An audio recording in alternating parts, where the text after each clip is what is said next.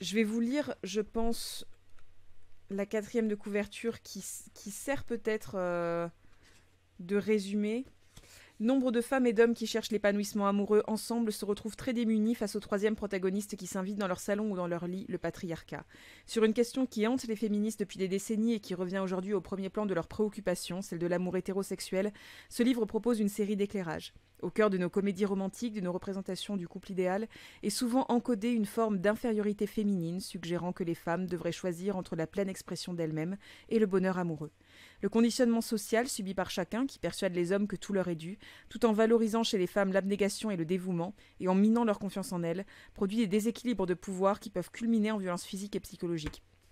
Alors ça, vous voyez, c'est un truc qui est euh, qu'elle dit aussi par rapport au travers du sexe. J'ai souvenir d'une tribune que j'avais lue dans laquelle elle disait quasiment ça, euh, mot pour mot, sur le côté euh, que ça, ça mettait encore plus en avant ces conditionnements sociaux dans lesquels les hommes euh, avaient une espèce de redevance sexuelle qui leur était due et qui était quelque chose qui était impossible à, contourner pour eux, où la société prenait en compte ce truc-là comme étant quelque chose d'obligatoire, cette espèce de redevance sexuelle que les femmes devraient aux hommes, et que la, prostitution, le, travail de, de, de prostituée, euh, était un espèce de point culminant justement de l'abnégation et du dévouement de des femmes qui doivent du coup faire euh, de leur vie et de leur travail euh, une, une, espèce de, de, de sacerdoce dirigé vers la sexualité masculine et vers l'accomplissement de la sexualité masculine,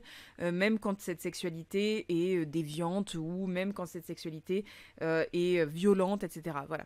Et du coup, elle voyait ça comme euh, une espèce de représentation encore plus forte de l'abnégation et du dévouement chez la femme et euh, de, la capacité à avoir envie de tout engranger et d'avoir tout sur un plateau pour les hommes. Donc euh, là, je trouve qu'elle ne se contredit pas complètement. Hein. Au contraire, même, elle, elle remet un petit coup. Alors là, par contre, elle le met pas autour des TDS, du coup, c'est bien ce que je dis. Elle le met autour du couple hétérosexuel tel qu'il peut être pensé euh, dans une société patriarcale.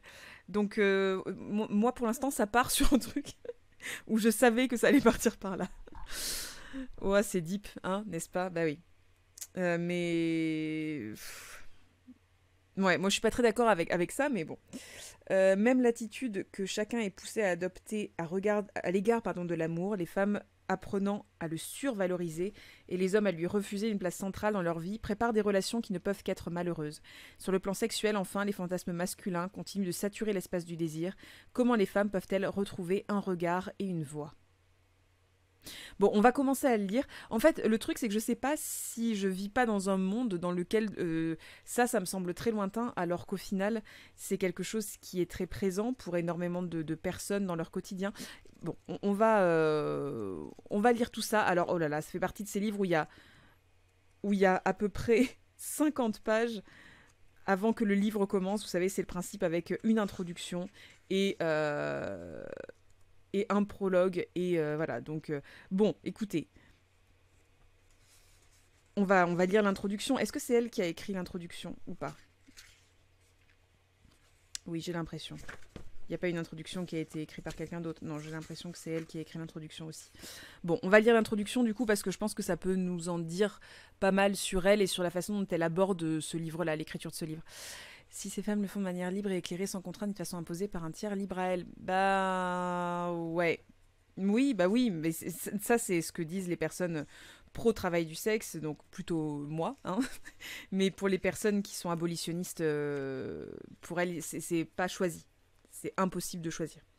Prologue, introduction, préambule, préface. Mais oui, c'est ça en fait. Je, pense qu'il y a vraiment énormément de pages avant que le livre commence réellement. Bon, allez, c'est parti. Dès que j'ai eu mon... Alors donc c'est introduction, l'illusion de l'oasis. Dès que j'ai eu mon premier smartphone, j'ai choisi d'afficher cette image sur l'écran de veille, et je n'en ai jamais changé depuis. C'est une miniature indienne de 1830 qui s'intitule Une femme arrive chez son amant durant un orage. Les couleurs sont splendides. Le rouge orangé de son sari à elle, qu'elle tient à deux mains, l'écartant légèrement de sa tête tandis qu'elle court à travers le jardin, douchée par l'averse. Le blanc rosé de sa tenue à lui, qui lui fait signe, posté sur un balcon couvert au premier étage de la maison le vert pâle de l'herbe, d'un arbre penché par le vent, des collines qui ondulent en arrière-plan, le noir d'un nuage furieux, strié d'éclairs, qui roule dans le ciel au-dessus d'eux. L'amante est saisie à cet instant délicieux où elle se fait encore malmener par les éléments, mais où elle touche déjà au but. Bientôt, elle sera à l'abri. Elle pourra non seulement ôter sa robe mouillée, se sécher, se réchauffer, humer les parfums d'une chambre, mais aussi retrouver un homme qu'elle désire, le serrer dans ses bras, rouler sur un lit avec lui. J'imagine sa course, la fraîcheur des gouttes d'eau sur son visage et ses bras, et les battements accélérés de son cœur accordés au crépitement de la pluie. À force d'avoir chaque jour cette scène sous les yeux, je ne pense plus beaucoup à son sens, mais elle m'accompagne, comme un écran de veille est censé le faire. Elle me rappelle l'existence de l'amour, ou à défaut, sa possibilité. Pour voir la dite miniature. Ah, merci. Très bien. Est-ce que ça marche Ou pas? Ah non, t'as dû faire une petite erreur sur la façon dont tu l'as dont tu l'as partagé. Ça me la met en deux. Ah, il y a une virgule. Il y a une virgule qui ne qui n'a pas lieu d'être, je crois, Kitty. Des sociétés qui jugeaient réellement le sexe comme un dû pour les hommes, il y en a eu plein, tous républicains, tous, et rejeter cette faute sur les TDS, c'est immonde. Oui, je trouve aussi. Je suis, oui, mais parce qu'on n'est pas d'accord, Iluner. je pense que ça doit jouer, ça doit jouer aussi. Euh, oui, Kitty, en fait, il y a une virgule en trop. Voilà. Il faut copier le lien de Kitty en entier. Compions-le en entier. Bon, après, je sais pas à quel point ça vaut le coup de regarder ça. Mais ah oui. D'accord. Attendez. Voilà. C'est ça. Voilà. Oh, je suis désolée, June. Euh, Moubot, il est, violent sur le, spam. Je suis désolée. Merci Kitty, du coup. À force d'avoir elle me rappelle l'existence de l'amour ou à défaut sa possibilité. L'amour me donne le sentiment d'augmenter un grand coup la flamme sous le chaudron de la vie, au point de la dilater, de la densifier, un peu comme le fait l'écriture. Comme l'écriture, il m'aide à faire corps avec le monde. Le bonheur amoureux, écrit Alain Badiou, est la preuve que le temps peut accueillir l'éternité. Et Annie Ernaux résume en ces termes, à la fin de Passion simple, sa liaison avec celui qu'elle appelle A. Grâce à lui, je me suis approché de la limite qui me sépare de l'autre, au point d'imaginer parfois la franchir. J'ai mesuré le temps autrement, de tout mon corps tous les jours. C'est drôle cette espèce de. Salut Frédéric. Euh, c'est drôle cette espèce d'ode à l'amour au début. Euh, je, je m'attendais pas trop à ça. Bon, et en même temps, je pense que. En fait, à chaque fois, il faut bien se demander à qui euh, s'adresse ce livre. Et là, je pense que le livre s'adresse à des gens qui sont déjà en couple. Donc, du coup, le but, c'est pas non plus de leur dire vous êtes en train de vous enfermer pour toujours. c'est la merde pour toi, mon pote. voilà, le but c'est aussi de dire ah l'amour c'est beau, ça existe. Donc je suppose que c'est un peu pour rappeler ça aussi. Tous les jours, en dehors des moments passés avec nos proches, nous devons, de notre vie sociale et professionnelle, frayer avec des gens qui peuvent nous inspirer autant de la sympathie que de l'indifférence, de l'ennui, de l'irritation, voire de la détestation. Nous nous résignons à ces contraintes et à la superficialité, à la solitude qu'elles impliquent. Mais de temps en temps, il se produit ce phénomène stupéfiant, soudain en général au moment où nous nous y attendons le moins, où nous baissons notre garde par un accès de générosité gratuite du destin, face à quelqu'un que nous connaissons depuis quelques secondes ou quelques jours ou même quelques années parfois. Un voile se décroche dans un chuintement discret, annonçant la chute prochaine et dès lors inéluctable des vêtements sur le sol. oh, dites donc Tout le ton du livre est comme ça, elle se place comme une amoureuse de l'amour hétéro qui essaie de le remettre en question. Écoute. Nos yeux se dessillent, nous comprenons qui est cette personne, de même qu'elle comprend qui nous sommes, et elle nous émerveille. Elle nous paraît trop belle pour être vraie. Un cadeau nous tombe au creux des mains, une complicité enivrante, une intimité immédiate et follement bienveillante avec quelqu'un qui peut nous être totalement inconnu. Ce Big Bang engendre une énergie qui pourrait nous faire faire trois fois le tour de la Terre. Il y a là quelque chose des bottes de sept lieux, ou de ces coups de dés qui, dans le jeu de loi de mon enfance, autorisaient un raccourci spectaculaire vers le sommet, tandis que les autres joueurs continuaient à progresser laborieusement de case en case alors, je, pense qu'elle va le remettre en doute après, hein, mais pour l'instant, euh, cette espèce de hum, de grande ode à l'amour comme ça, il y a un côté, surtout cette fin là, cette fin me fait un peu tiquer parce qu'il y a un truc de euh, l'amour c'est très important, il faut absolument être amoureux de quelqu'un dans la vie. Si tu n'es pas en couple dans la vie, c'est mort, c'est mort, tu gâches ta vie. Et ça me ça me fait un peu bizarre voyez ce que je veux dire? Il y a là quelque chose des bottes de sept lieux ou de ces coups de dés qui, dans le jeu de loi de mon enfance, autorisaient un raccourci spectaculaire vers le sommet, tandis que les autres joueurs continuent à progresser laborieusement de, case en case. Vous voyez ce que je veux dire? Il y a un truc un peu. si vous n'êtes pas amoureux de quelqu'un, c'est chaud pour votre cul. Et. Je sais pas, bruit de grès romantique confus. Mais oui, je sais, je sais pas, Love Rolex.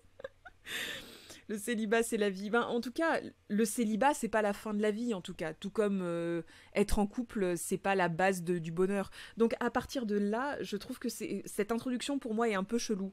Mais après, encore une fois, c'est un livre sur le couple. On peut s'imaginer que euh, Réinventer l'amour s'adresse à des gens qui cherchent à être en couple ou qui sont déjà en couple.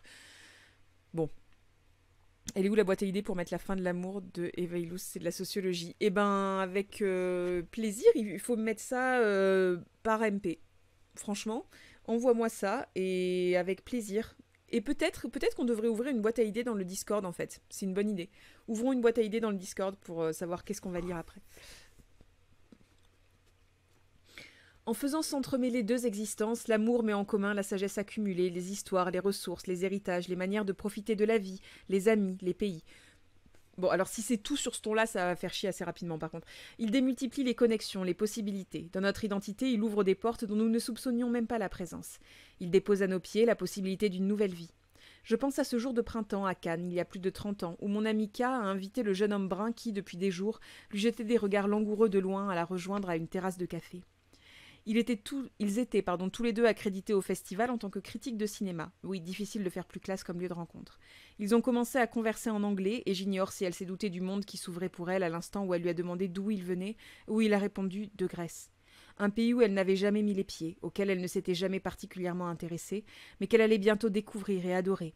Un pays où elle allait vivre durant sept ans, dont elle allait s'incorporer la langue et où, même après leur divorce, elle continuerait de retourner chaque année avant d'y acheter une maison.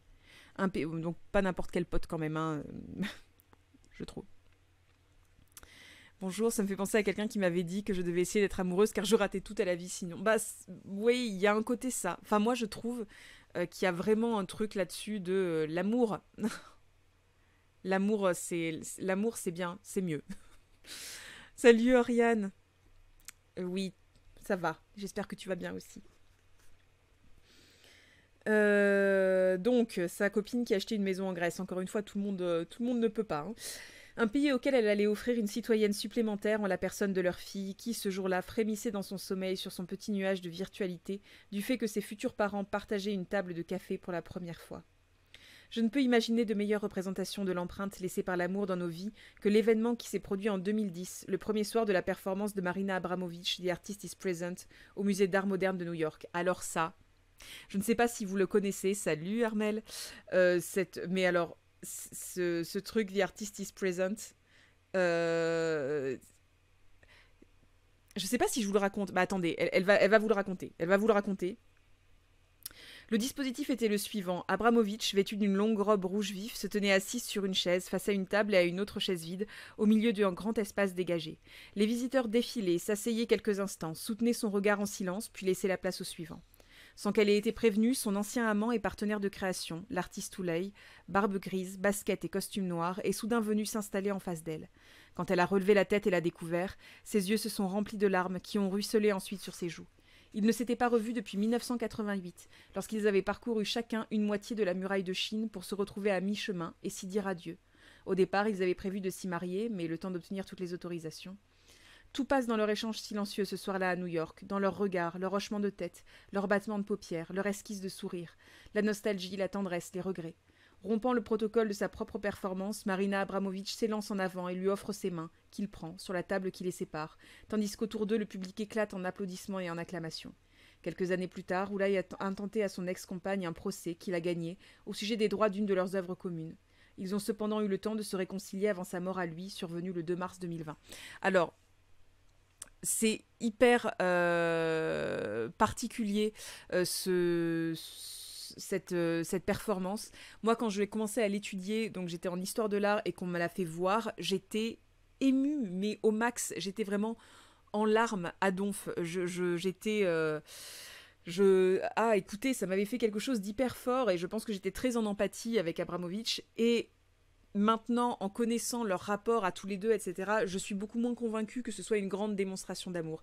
Mais le fait est, salut LSN, euh, mais le fait est que oui, il y a euh, cette espèce de... Si vous voulez voir une manifestation de l'attachement, en tout cas, de l'amour, je sais pas, de l'attachement, en tout cas, c'est sûr, euh, cette performance est très puissante puisque... on sent la surprise, la, l'émotion, le, c'est, vraiment, c'est extrêmement fort en émotion comme, comme moment. Est-ce que c'est ça que tu as mis? Ouais. C'est. Hum, voilà, c'est un moment qui est très très très puissant et très fort en émotion et que vous pouvez trouver sur YouTube. Hein. D'ailleurs, là, je crois que c'est que. Ouais, là, je crois que c'est que les, les, les, moments où elle est avec des gens en face d'elle. Oui, c'est ça. Euh, et. Hum, j'aurais dû honnêtement j'aurais du mal à décrire exactement ce cette performance-là. Elle est, elle est vraiment particulière. Je vous conseille de la regarder si vous avez besoin de voir quelqu'un avoir énormément d'émotions d'un coup, parce que c'est très puissant. Le moment où elle voit Oulai et qu'elle elle, se met à pleurer. Après, euh, encore une fois, vu l'histoire qu'il y a entre les deux, c'est difficile de dire que c'est purement de l'amour et qu'il n'y a pas un peu aussi de, de, euh, relations de un peu chelou. Bon, écoutez, après, faites-vous votre propre euh, opinion. N'hésitez pas à aller regarder ça. J'ai jamais réussi à me pardon, j'ai jamais réussi à me départir de l'idée que c'était un peu mise en scène et surtout ça me met si mal à l'aise, ça fait un peu tentative de reprendre une emprise venant d'Oulai. Oui, je trouve aussi. Je trouve aussi. C'est pour ça, regardez euh, si vous avez, euh, si vous avez l'occasion, regardez ce moment-là de cette performance. Faire le grand saut. J'adorerais ne parler d'amour que comme cela, en ressassant à l'infini les plus belles histoires que je connais. Il existe une parenté étroite entre la pulsion amoureuse et la pulsion narrative, et je n'ai jamais pu résister à une bonne histoire. Tomber amoureux, c'est avoir la sensation de traverser la page ou l'écran, et voir à l'œuvre dans sa propre vie tous ces mécanismes et ces procédés hautement jouissifs qui, d'habitude, sortent du cerveau génial d'un bon écrivain ou d'un bon scénariste. De même, lorsque je referme un roman qui m'a tenu en haleine pendant des jours ou des semaines, ou lorsque j'arrive au bout d'une série que j'ai particulièrement savourée, après m'être débattu entre la tentation de dévaler les pages ou d'enchaîner les épisodes et celle de les économiser pour faire durer le plaisir, j'éprouve un sentiment proche, par certains aspects, de celui que procure une rupture amoureuse. La nostalgie, l'impression de quitter un univers enchanté, pardon, de déchoir d'une forme de privilège pour être rendu à un quotidien morne et sans intérêt, la sensation qu'un état de grâce se termine, un état de grâce qui, tant qu'il durait, interposait une couche protectrice entre moi et tout ce qu'il peut y avoir de dur et de blessant dans le monde et dans la vie. Euh, j'adorerais pouvoir parler de l'amour comme d'une sphère à part, une oasis, un sanctuaire, mais je bute de plus en plus sur un obstacle. Alors attendez, vu que je vois que euh, tu l'as, voilà, tu l'as partagé, on va le regarder ensemble ce truc euh, comme ça. Hop, attendez, bon, voilà, hop, ah oui non mais par contre, je, je vous fais grâce de la pub Amazon avant. Voilà.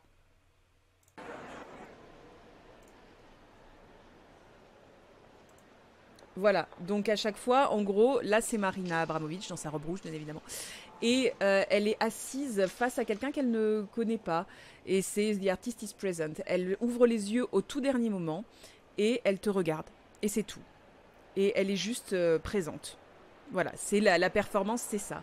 Et toi, en face, tu viens avec tes émotions, ta vie, euh, ce que le, ce que elle t'apporte, euh, ce que tu as envie aussi de lui communiquer. Dans tous les cas, elle ne doit pas parler ni interagir avec la personne en face, et la personne en face doit être pareille. Elle ne doit ni parler ni agir euh, avec elle physiquement. Je veux dire, elles ne doivent pas avoir de, de, lien particulier.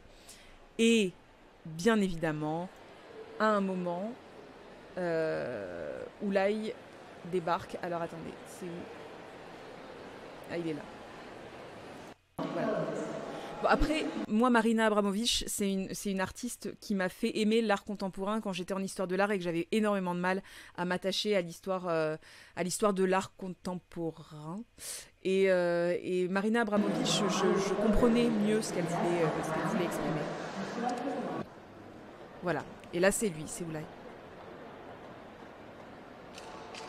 Et donc, ils se sont pas vus depuis, depuis des années et des années et des années et ils, ils ont plus jamais communiqué depuis leur histoire euh, d'amour.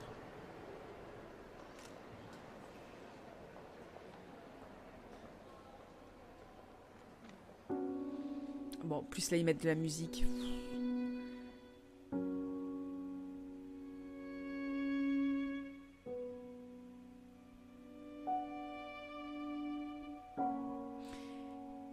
Et moi, la première fois que j'avais vu ça, j'étais euh, tellement dans l'émotion aussi, parce qu'elle est.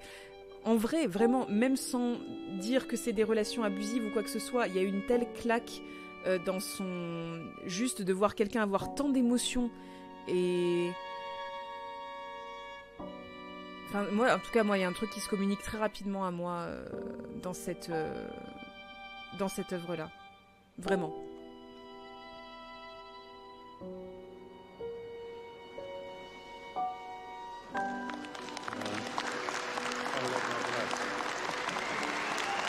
Mais elle lui parle pas, je crois.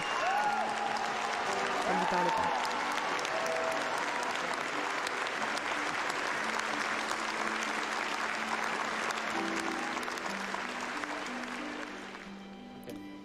Et, euh, et voilà. Et elle reprend sa position de base et elle redevient. Euh,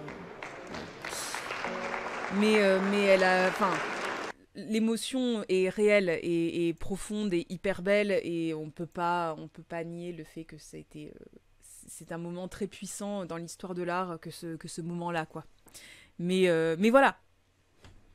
Comme ça vous, vous savez de quoi Mona Chollet parle sur euh, cette fameuse projection d'un amour qui te qui te dévaste Nuki Nuk, je débarque et je découvre. Bah écoute, alors du coup, on n'est pas en train de parler de d'Abramovich, hein, mais, euh, c'était évoqué dans le livre, donc euh, je suis contente que vous ayez pu découvrir ça. En vrai, c'est vraiment une œuvre qui est, puissante. Vraiment, qui est très puissante. Et le parti pris de l'œuvre est très puissant aussi. Et, euh, et voilà. Voilà, c'est comme ça, vous, saurez. vous aurez vu Abramovich et Oulai qui se regardent très intensément et qui, dans lequel tout cet amour ou en tout cas tous, des émotions qu'ils ont pu avoir, la relation passe. Pourquoi venir la voir dans un moment comme celui-là? Mais je pense que c'était parce que il est, enfin, il y a un côté artiste. Hein. Les deux ont un côté hyper wouh, l'artiste, l'artiste, et donc du coup, je suppose déjà ils se sont quittés. Euh, le moment où ils se sont quittés, c'était pendant une performance artistique du coup. Hein. Ils ont vécu je sais pas combien de temps ensemble, et après, bah, c'est ce que disait Mona Chollet, ils sont partis chacun d'un côté de la muraille de Chine pour de vrai. Ils se sont retrouvés au milieu et au milieu ils se sont dit adieu, ils se sont séparés à tout jamais et ils ne se sont plus euh, jamais revus. Alors qu'ils avaient vécu très longtemps ensemble euh, dans une relation très très passionnée, voilà. Et ils se sont plus jamais revus. Et ils se sont revus à l'occasion de ce truc-là qu'on a vu là. Voilà. Donc je pense que de toute façon, toute leur histoire d'amour, mais de toute façon, ah, bon après on va pas faire l'histoire de l'art, mais Marina Abramovic, elle a de toute façon un lien hyper fort entre sa propre vie et ses performances, et, et la, il n'y a pas vraiment de frontière entre, là pour le coup, entre la femme et l'artiste, quoi. Elle vit dans une de ses performances, clairement, et, euh, et, et, sa vie est une de ses performances, enfin voilà. Donc, et lui un peu pareil, je pense, même si je le connais moins que elle. Donc je saurais moins être, euh, être euh, absolu euh, là-dessus, mais en tout cas oui, il y a un côté très puissant dans sa, elle dans sa volonté de faire les choses et de, systématiquement être un peu dans cette, dans cette démarche artistique. Donc je pense que c'est pour ça. moi quand je me sépare, j'envoie SMS. Oui, hein, vidéo sur Marina Wen. Bah, j'aimerais bien, c'est vrai qu'on pourrait faire une petite vidéo sur des, sur des créatrices sur des, euh, des créatrices, ouais, des artistes euh, contemporaines, pourquoi pas. Euh, bref, on revient à Mona Chollet du coup et à l'amour que si vous l'avez pas trouvé, vous êtes des nazes et vous vivez pas votre vie au maximum. voilà. Euh, qu'est-ce que c'est? Voilà. Alors elle dit J'adorerais pouvoir parler de l'amour, mais elle ne peut pas. Mais je bute de plus en plus sur un obstacle, qu'il s'agisse de situations d'oppression révoltantes ou d'incompréhension certes pas tragique, mais terriblement frustrante, tout un arc de situations diverses observées dans la société, dans mon entourage ou dans ma propre vie, font grandir en moi l'envie de prendre à bras le corps le sujet de l'amour hétérosexuel. Durant mon adolescence, rien ne venait remettre en question la vision idyllique donnée par les films et les romans, et je crois bien avoir nourri pendant assez longtemps l'illusion que les, les, inégalités, la domination, la violence étaient absentes de nos vies sentimentales.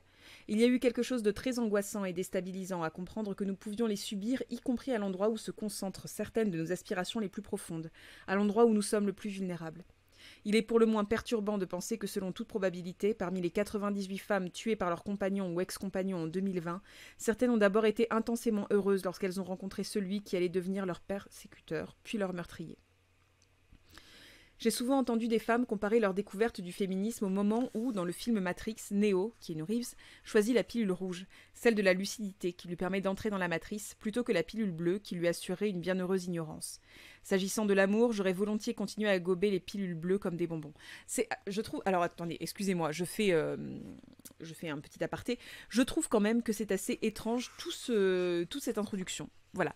Je ne sais pas si euh, vous le sentez euh, vous aussi, mais il y a un truc qui me met un peu mal à l'aise dans cette introduction. Pour l'instant, je n'arrive pas à mettre le doigt dessus. Je ne sais pas ce que c'est, mais on va sûrement savoir ce que c'est. Je vais réussir à analyser le truc avant la fin de l'introduction et je vais euh, savoir ce que c'est qui me met mal à l'aise. Je panique un peu à l'idée de toucher à l'édifice de représentation et de croyance qui depuis toujours sert de support à l'une de mes pulsions vitales les plus essentielles, mais il devient difficile d'ignorer les attaques qu'il subit. Mais ça, par exemple, est-ce que est-ce qu'on peut vraiment faire rentrer Parce que juste avant, elle fait un parallèle avec euh, les agressions et, la, violence conjugale et euh, les féminicides. Et est-ce qu'on peut vraiment décréter, enfin comparer par exemple la violence conjugale comme une espèce de d'agression à l'amour. Est-ce que c'est pas un peu en mode euh, ouh, éthéré et très euh, et très hors du monde de parce que là en fait j'aime pas le fait qu'elle mette en avant le bah, par exemple, voilà, la violence conjugale comme un ennemi de l'amour. La violence conjugale n'est pas un ennemi de l'amour. La violence conjugale, c'est un crime. Je veux dire, c'est pas. C'est en fait, je trouve que c'est très romancé et c'est très euh, romanticisé, même, je dirais, euh, de de mettre en relation euh, toutes ces choses-là, donc la, violence d'une société potentiellement patriarcale, euh, enfin les violences potentielles d'une société patriarcale qui peuvent peser sur les femmes et sur le couple hétérosexuel globalement, euh, le, et les, les, violences conjugales, et de mettre tout ça comme des ennemis de l'amour, je sais pas, ça me, ça me fait bizarre, ça me fait bizarre. Oui, fictionnisant peut-être, mais romanticisé, tu vois, dans le sens romantique quand tu tabasses ta femme, c'est à l'amour que tu fais mal. Mais oui, il y a ça, et, ça, ça me gêne vraiment, par contre, comme, euh, comme idée. Euh, vraiment.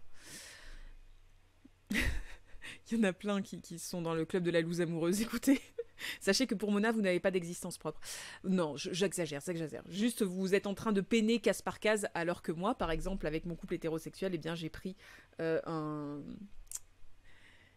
un un raccourci. Eh, je savais plus le mot. Un raccourci vers le sommet. Ça me rassure, j'avais peur d'être trop radicale et de me sentir mal à l'aise pour rire, mais visiblement, je ne suis pas la seule. Bah écoute, euh, oui.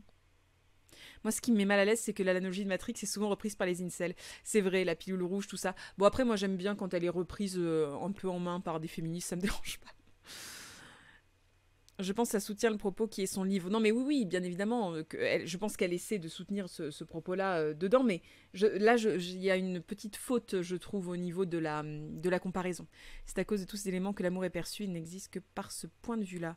Est-ce qu'elle serait pas en train de dire que l'amour hétérosexuel ne peut pas exister dans une société patriarcale? Je pense que c'est ce qu'elle essaie de, dire. Euh, je pense que c'est ce qu'elle essaie de dire. Oui. Mais la façon dont elle l'a dit, je, sais pas, ça me met un peu mal à l'aise. Mais les durées des attaques qu'il subit. Je me rends compte lorsque je me plonge dans Défense de l'amour, l'essai de la journaliste américaine Christina Nering. Son style flamboyant m'aimante dès les premières lignes, mais je comprends vite que je ne pourrais pas y adhérer sans réserve. L'autrice confirme mon sentiment de me trouver au pied du mur, d'être obligée de renoncer à mon amour de l'amour inconditionnel, car elle me tend un miroir en m'offrant le spectacle de sa propre obstination à vouloir préserver le sien tel quel. Elle encourage ses lecteurs à aimer avec courage, avec audace, avec combativité, en assumant le risque de l'échec. Il peut y avoir plus de noblesse dans un échec que dans bien des réussites, affirme-t-elle à raison. Sous sa forme la plus forte, la plus sauvage et la plus authentique, l'amour est un démon, écrit-elle.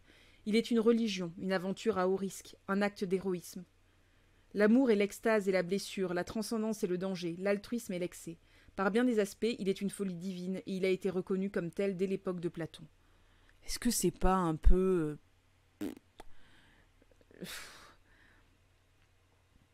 citer cette, cette citation-là particulièrement, que l'amour est une aventure à haut risque, un acte d'héroïsme, l'amour est l'extase et la blessure, la transcendance et le danger. Alors, je comprends, je comprends bien le côté ah, la passion quand elle vous dévore, gna gna gna, mais à nouveau, est-ce que ça légitime pas un peu de la violence du coup? Puisque et, cette fameuse, euh, ce fameux crime passionnel. Vous voyez ce que je veux dire dans le crime passionnel? Ce truc de dire eh ouais c'est un crime passionnel parce que finalement l'amour eh ben l'amour c'est l'extase et la blessure, l'amour c'est le danger, l'amour c'est euh, une aventure à haut risque. Non, enfin non, je trouve pas, je trouve vraiment pas que l'amour soit euh, une aventure à haut risque. Enfin je ça, me fait drôle vraiment de lire ça dans un livre féministe en fait. Sous sa forme la plus forte, la plus sauvage et la plus authentique, l'amour est un démon. C'est étrange que, que, vous voyez, que ce soit mis en avant comme ça là-dessus. Je sais pas, il y a quelque chose qui me dérange là-dedans. Euh, dans cette vision-là de l'amour, dans cette exposition-là, même je dirais, parce que la vision, ma, foi, chacune et chacun a la sienne, a le sien, pardon, mais euh, et la sienne plutôt, si c'est une vision. Mais euh, mais là, dans cette dans cette transposition-là de l'amour euh, sauvage et, fort et authentique comme étant une aventure à haut risque, vraiment pour moi ça légitime la violence en fait. L'amour avec ce biais que nous subissons tous et toutes depuis le départ. Ce biais-là, tu veux dire, de la violence?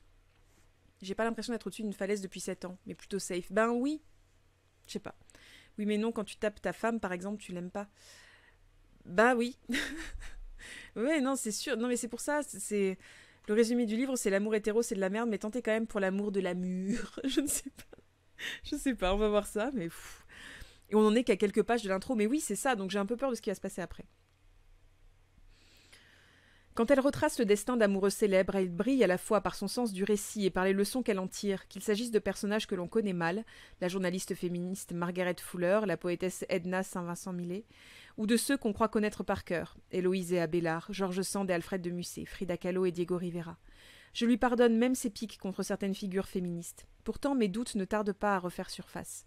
Je suis d'abord séduite quand elle défend l'amour comme une sorte de lucidité suprême, comme un état rare qui nous permet de voir clair en quelqu'un, et non comme un aveuglement, une illusion, ainsi que le prétend le cliché. Mais dans un second temps s'impose à moi l'image d'une femme du nom de Mary Bain, que nous recroisons au chapitre 2. Nous sommes en 1987. Cette New-Yorkaise est tombée amoureuse du père d'une camarade d'école de sa fille, qui est accusée du meurtre de son épouse. Elle a tout quitté pour lui et maintenant, en pleine nuit, il la poursuit dans la forêt qui entoure la maison où ils vivent ensemble. Elle le croyait innocent, mais elle est en train de comprendre qu'il a réellement tué sa femme. L'amour, voie d'accès à la lucidité suprême, vraiment? Ne faudrait-il pas examiner d'un peu plus près les mécanismes qui parfois nous font tomber amoureuses? Nous pouvons être séduits par la thèse selon laquelle l'amour ne peut pas se tromper, parce que le langage du cœur serait le langage même de la liberté. Ce romantisme, cependant, pourrait bien être ce qui dissimule le mieux les relations de pouvoir, observe la chercheuse Wendy Langford. Hmm. Salut, jour mercredi. Je. Hmm. Écoutez, on continue, on continue. Enfin, je freine des quatre fers lorsque Christina Nering fait l'éloge du déséquilibre de pouvoir entre partenaires, bien plus propice à la tension érotique, affirme-t-elle, que l'égalité. Elle parle des effets aphrodisiaques de l'inégalité, sans jamais envisager qu'ils puissent s'expliquer par le fait que nous avons appris à érotiser la domination masculine. Elle donne des exemples tirés de la littérature où les cartes sont sans cesse rebattues, où c'est tantôt l'homme, tantôt la femme qui a la haute main sur la relation, où l'amour confère de la puissance tantôt à l'un, tantôt à l'autre. La hiérarchie, dit-elle, devient alors une occasion de taquiner, de provoquer, d'appâter et de flirter. Sur le papier, c'est très beau, mais je pense aux innombrables exemples de ma connaissance dans lesquels la hiérarchie n'a servi qu'à écraser des femmes qui s'étaient crues libres et consentantes. Évoquant le fait, attesté par bien des enquêtes, que la plupart des hommes ne veulent pas de compagnes qui réussissent mieux qu'eux, Nering refuse, cette idée. Ils ne veulent pas des compagnes qui réussissent exactement comme eux, prétend-elle. Ils préfèrent, comme les femmes, quelqu'un qui se situe soit au-dessous, soit au-dessus d'eux. C'est l'horizontalité qui est ennuyeuse. Même l'aveuglement quand elle explique l'attirance de certaines femmes pour des hommes difficiles par le fait que les filles aiment le défi. Elle estime que de tels choix amoureux traduisent de la force et des ressources plutôt que de l'insécurité et des blessures psychologiques. Cette hypothèse, malheureusement, ne résiste pas à l'analyse, même la plus rapide. Bon, ok, donc elle démonte quelqu'un qui effectivement euh, disait euh, pas mal de conneries, visiblement. Le déni ne nous sauvera pas. Alors autant faire le grand saut, affronter les questions qui surgissent et démonter l'édifice dans l'espoir d'en reconstruire un autre, plus beau et plus solide. Déjà, les premières lectures que je fais pour nourrir ce livre produisent une sorte de dégrisement violent qui me laisse à la fois soulagé, dans la mesure où il enraye certaines logiques néfastes, et un peu triste, parce que l'intensité me manque. Si je devais fixer un but à l'écriture, ce serait qu'elle me permette de retrouver l'élan amoureux, mais sur d'autres bases. Mon objectif n'est pas d'éviter la souffrance à tout prix. L'amour est toujours un risque à courir. Le paradis et l'enfer s'y côtoient. Mais je crois que quand on est une femme, il y a souffrir et souffrir. Euh... Je sais pas. Écoutez, vraiment, il y a, un truc qui me qui me dérange un peu au milieu de tout ça. Euh, le principe de quand, on est une femme, il y a souffrir et souffrir. Euh, l'amour est toujours un risque à courir, etc. Je sais pas. Ouais, je sais pas. Est-ce que vraiment, est-ce que vraiment l'amour est toujours un, risque à courir? Est-ce que vraiment pour une femme il y a souffrir et souffrir? Est-ce que ça veut dire que du coup, forcément, à partir du moment où on est dans un couple hétérosexuel, il faut s'apprêter à souffrir? Oui, on est d'accord, souffrir et souffrir, non, il y a juste souffrir, oui, je suis. Je, je sais pas, je trouve que c'est facile en fait après de justifier n'importe quelle violence à partir du moment où on dit que finalement l'amour c'est toujours un risque à courir. Pas toujours, hein. Je pense qu'on sous-estime énormément l'amour tranquille. La, tranquillité des sentiments est très sous-estimée. Et est-ce qu'il n'y a pas de l'avenir quelque part dans la tranquillité des sentiments par rapport à cette. Euh, à ce flamboiement-là euh, de l'amour qui est toujours un risque à courir? Euh, que dis-tu? Est-ce que ce qui te dérange, c'est que justement c'est comme ça qu'on a été conditionné? Elle justifie pas, elle dénonce. Alors, effectivement, c'est comme ça que, que l'amour a été beaucoup conditionné, justement. C'est pour ça que je, je suis surprise qu'elle reprenne euh, ce truc-là. Elle dit clairement Mon objectif n'est pas d'éviter la souffrance à tout prix, l'amour est toujours un risque à courir, le paradis et l'enfer s'y côtoient, mais je crois que quand on est une femme, il y a souffrir et souffrir. Ça, c'est elle qui le dit, elle dénonce rien, elle, elle, elle dit là-dessus. Et, et, je suis pas d'accord avec ça, avec ce qu'elle dit là. Je trouve que justement, ça, ça rentre vraiment dans ce cadre de, du conditionnement à l'amour dans lequel on a été. Il y a des dizaines de théoriciennes queer qui expliquent depuis des décennies que l'amour sans souffrance c'est possible si on déconstruit le couple hétéro. Souffrir, il n'y a pas un petit côté repentance euh, chrétienne dans tout ça. Mm. Ça ressemble un peu à Messi, essaye un truc, au début c'est pas ouf, mais tu vas aimer après. Ben oui, il y a, y, a, y a de ça. Il euh, y a un peu de ça euh, qui me. Ouais, qui, me dérange un peu. Salut Forfman. Euh, L'amour tranquille et marginal. Peut-être pas tant que ça. Peut-être que c'est les histoires qu'on raconte autour qui le rendent marginal, mais je pense que l'amour tranquille est assez courant. Finalement, c'est souffrir ou souffrir d'être en couple. Est-ce que les célibataires, on est si losers que ça Je pense que ça veut dire que souffrir de la rupture et souffrir physiquement, je sais pas. Peut-être. Peut-être. Et elle, arrive en disant Hey, je suis si novatrice et subversive, en fait, c'est beau de souffrir dans le couple hétéro et de toute façon, il n'y a pas d'autre solution. Ben oui. Oui, oui. Surtout que j'ai pas l'impression qu'elle parle de la souffrance et de la rupture qui pourrait être ce risque, euh, qu'elle parle de la souffrance de la rupture, pardon, qui pourrait être ce risque à courir. Mais moi non plus.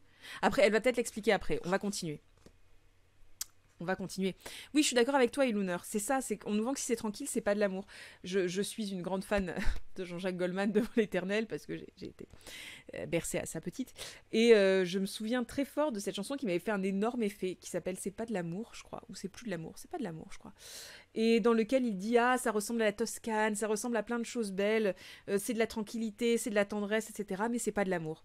Et, euh, et, cette chanson m'avait beaucoup marqué parce que je me suis dit Ah ouais, donc du coup, l'amour, vraiment, ça peut pas être de la tranquillité, ça peut pas être de la Dolce Vita, ça peut pas être. Il dit la Dolce Vita sans doute, mais en tout cas, c'est pas de l'amour.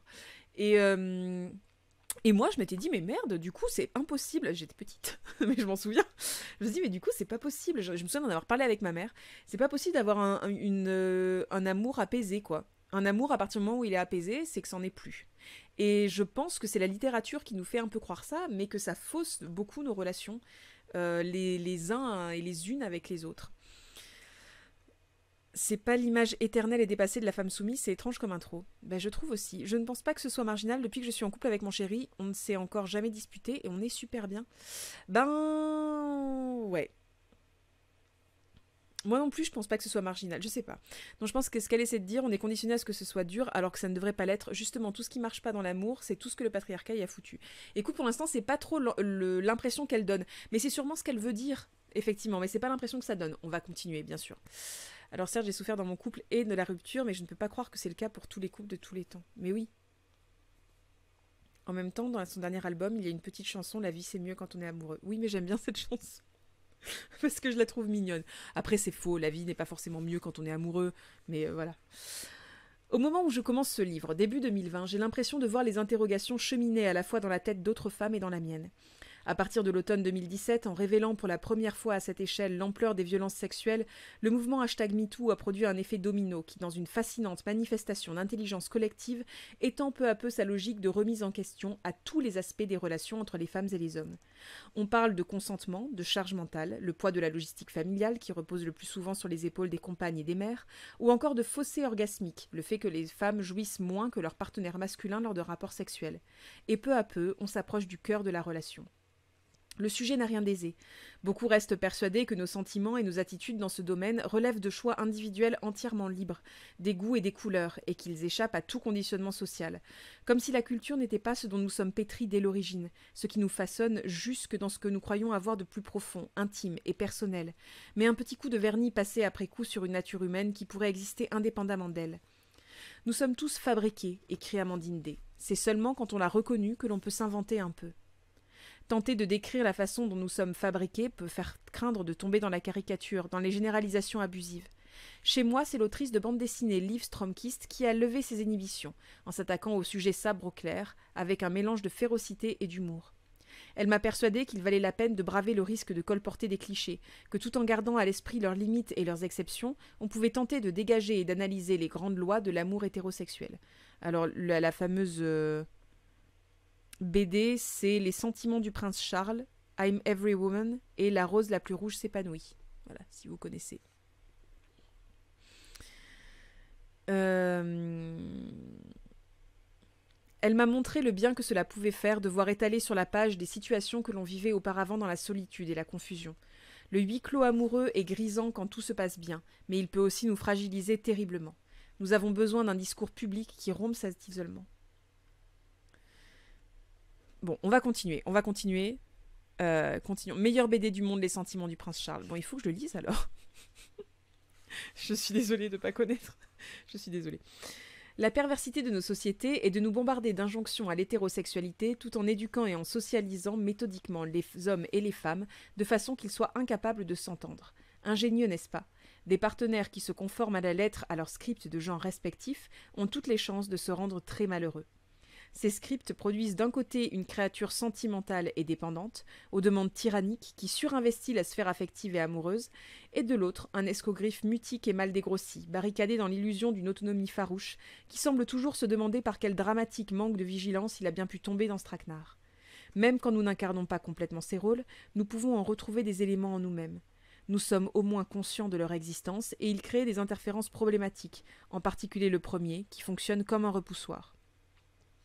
Alors pour moi, pas plus le premier que le second, hein, mais, euh, mais oui, euh, c'est sûr que c'est euh, problématique. Des violences conjugales aux malentendus qui peuvent surgir entre deux personnes respectueuses l'une de l'autre, toutes les situations que je voudrais évoquer ne sont pas de la même gravité. Les unes menacent la santé physique et psychique des femmes, voire leur vie. Elles les vident de leur énergie vitale et de leur estime d'elles-mêmes. Elles leur coupent les ailes. Les autres empêchent la compréhension et la confiance mutuelle. Elles nous privent des plaisirs d'une véritable complicité et compromettent la relation à plus ou moins long terme. Ce livre naît de mon propre sentiment de gâchis. Il naît d'un désir de dissoudre ces obstacles et de nous fournir à toutes et tous des billes pour nouer des relations plus épanouissantes. Ok. Euh... Ok. Pourquoi pas? L'amour et la colère, il faut le préciser parce que cela va forcément influer sur ma façon de traiter ce sujet, j'ai la chance d'arriver à la fin de la quarantaine en ayant conservé un rapport aux hommes plutôt serein. J'ai eu un père doux et bienveillant, j'ai un frère merveilleux. Je n'ai jamais vécu de relation amoureuse toxique. N'ayant jamais voulu d'enfant, je n'ai pas connu ce brusque déséquilibre dans le partage des tâches domestiques que provoque souvent une naissance. Je n'ai pas non plus traversé un de ces divorces ravageurs que je vois autour de moi. Je reste, ou plutôt je suis redevenu, très proche de l'homme avec qui j'ai vécu pendant dix-huit ans, et je l'aime toujours profondément. J'ai eu une fois un employeur pénible qui me coupait la parole pour s'extasier de ma beauté et bavasser au sujet de mon compagnon, qu'il avait croisé à une occasion. Mais je ne le voyais pas beaucoup, et j'ai pu claquer la porte avant que la situation devienne insupportable. Enfin, j'ai échappé aux deux principales tentatives d'agression dont je me souvienne. La nuit où, adolescente, rentrant chez moi à travers les rues désertes de Genève, j'ai cru entendre des pas derrière moi, j'ai poussé le verrou à peine entré dans l'immeuble. J'ai vu le visage de l'homme qui me suivait s'encadrer dans la partie supérieure de la porte, qui était vitrée, tandis qu'il pesait de tout son poids pour essayer de l'ouvrir. Le soir où, à peu près à la même époque, en Valais, dans les montagnes suisses, trois types portant des masques de gorilles, le carnaval venait de commencer, puant l'alcool par tous les pores de leur peau, ont fait irruption dans le chalet où je me trouvais avec mon frère et une amie du même âge, et où l'un d'eux s'est penché sur moi en me réclamant un bisou. J'ai réussi à le repousser, à me ruer dans le couloir, lui sur mes talons, et à m'enfermer dans la salle de bain. Il a ensuite passé un temps qui m'a paru extrêmement long à secouer la porte en vociférant, tandis que j'étais recroquevillé sur le siège des toilettes et que ses deux acolytes dévalisaient la réserve de bouteilles du chalet. Ils ont fini par déguerpir parce que mon amie, nous étions chez elle, avait reconnu l'un d'eux à sa voix, grillant son anonymat. Trente ans plus tard, j'ai toujours un peu de mal à dormir dans une maison dont la porte n'est pas fermée à clé, et je déteste devoir, en tant que femme, avoir constamment ma sécurité à l'esprit, mais j'ai échappé au traumatisme. Je n'éprouve pas cette rage profonde, ô combien justifiée, qui habite beaucoup de victimes de viol, même si j'en suis solidaire de tout mon être. Alors là aussi, bon, on va, on va continuer à nouveau, hein, mais euh, je suis un peu... Euh, en fait, je suis un peu dubitative des routes et des chemins qu'elle trace entre le couple hétérosexuel et euh, ben, par exemple le, le rapport aux hommes dans, dans le côté euh, les hommes font, peuvent faire peur aux femmes parce qu'il y a cette menace perpétuelle de l'agression euh, qui est là. Et les violences conjugales en même temps. Et je trouve que ça part un peu alors c'est évident de parler du rapport aux hommes qu'ont les femmes dans quand on essaie de décortiquer le couple hétérosexuel. Mais mais je, suis, je pense que je ne suis pas convaincue par l'enchaînement euh, des idées. Vous voyez ce que je veux dire? Plus que par euh, les idées en elles-mêmes. Je ne sais pas si c'est pas l'enchaînement des idées qui me fait, euh, me demander si je suis pas mal à l'aise. Vous voyez ce que je veux dire? Après c'est peut-être très personnel. C'est peut-être très personnel.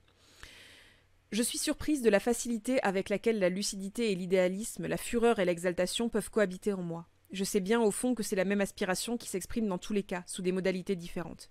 Comme le dit la romancière Jumana Haddad, j'ai deux sources d'énergie, la colère et l'amour. On pourrait croire qu'elles sont contradictoires, mais elles se complètent. Je puise dans l'une ce que je ne trouve pas dans l'autre. Il n'empêche que, dans mes livres, le plus souvent, seule la colère a droit de citer. Sans doute parce que, lorsque j'écris pour être publié, je vais d'instinct vers la posture la plus valorisante, la plus assurée. Je savoure les boutades féministes bravaches par laquelle je peux exorciser, par exemple, mon conditionnement à attendre un prince charmant, un sauveur. J'adore ce dessin d'Ellie Black dans le New Yorker sur lequel, lorsque le chevalier arrive pour sauver la princesse prisonnière du dragon, elle l'accueille les bras croisés, un air de défi sur le visage, aux côtés de l'animal qui lui annonce Elle veut pas te voir, mon gars. Mais je sens aussi que la boutade ne suffit pas, ou plus. Seulement, Parler d'amour oblige à assumer sa vulnérabilité, ses désirs, ses faiblesses, ses doutes, sa sentimentalité aussi, ce trait fâcheusement féminin que l'on apprend à maîtriser et à censurer. Est-ce que là c'est cynique le, fait qu'elle euh, qu'elle dise que ce soit un trait fâcheusement féminin? Je trouve, en fait, mais euh, elle le dit elle-même, mais je trouve qu'il y a que du coup ressort très très fort euh, ses propres conditionnements en fait dans cette dans cette intro, je trouve, hein, mais c'est c'est je trouve que euh, du coup les clichés sont très très présents et au lieu de les dénoncer, elle les expose beaucoup en vrai. Et on a l'impression qu'elle y prend part et qu'elle euh, et qu'elle est d'accord avec ça et ça me même si je sais qu'elle l'est pas, enfin je sais pas du coup, ça me fait bizarre. Les violences sexuelles ressemblent rarement à ces deux exemples. L'agresseur inconnu ou masqué ressemble plutôt à un trope littéraire. En plus, en plus un peu, oui. Moi aussi, je recommande Sandrine Deloffre. Achetez tout ce que fait Sandrine Deloffre. Elle est trop cool. Oui, elle passe un peu du coq à l'âne. Ça part un peu partout. Bon, écoutez.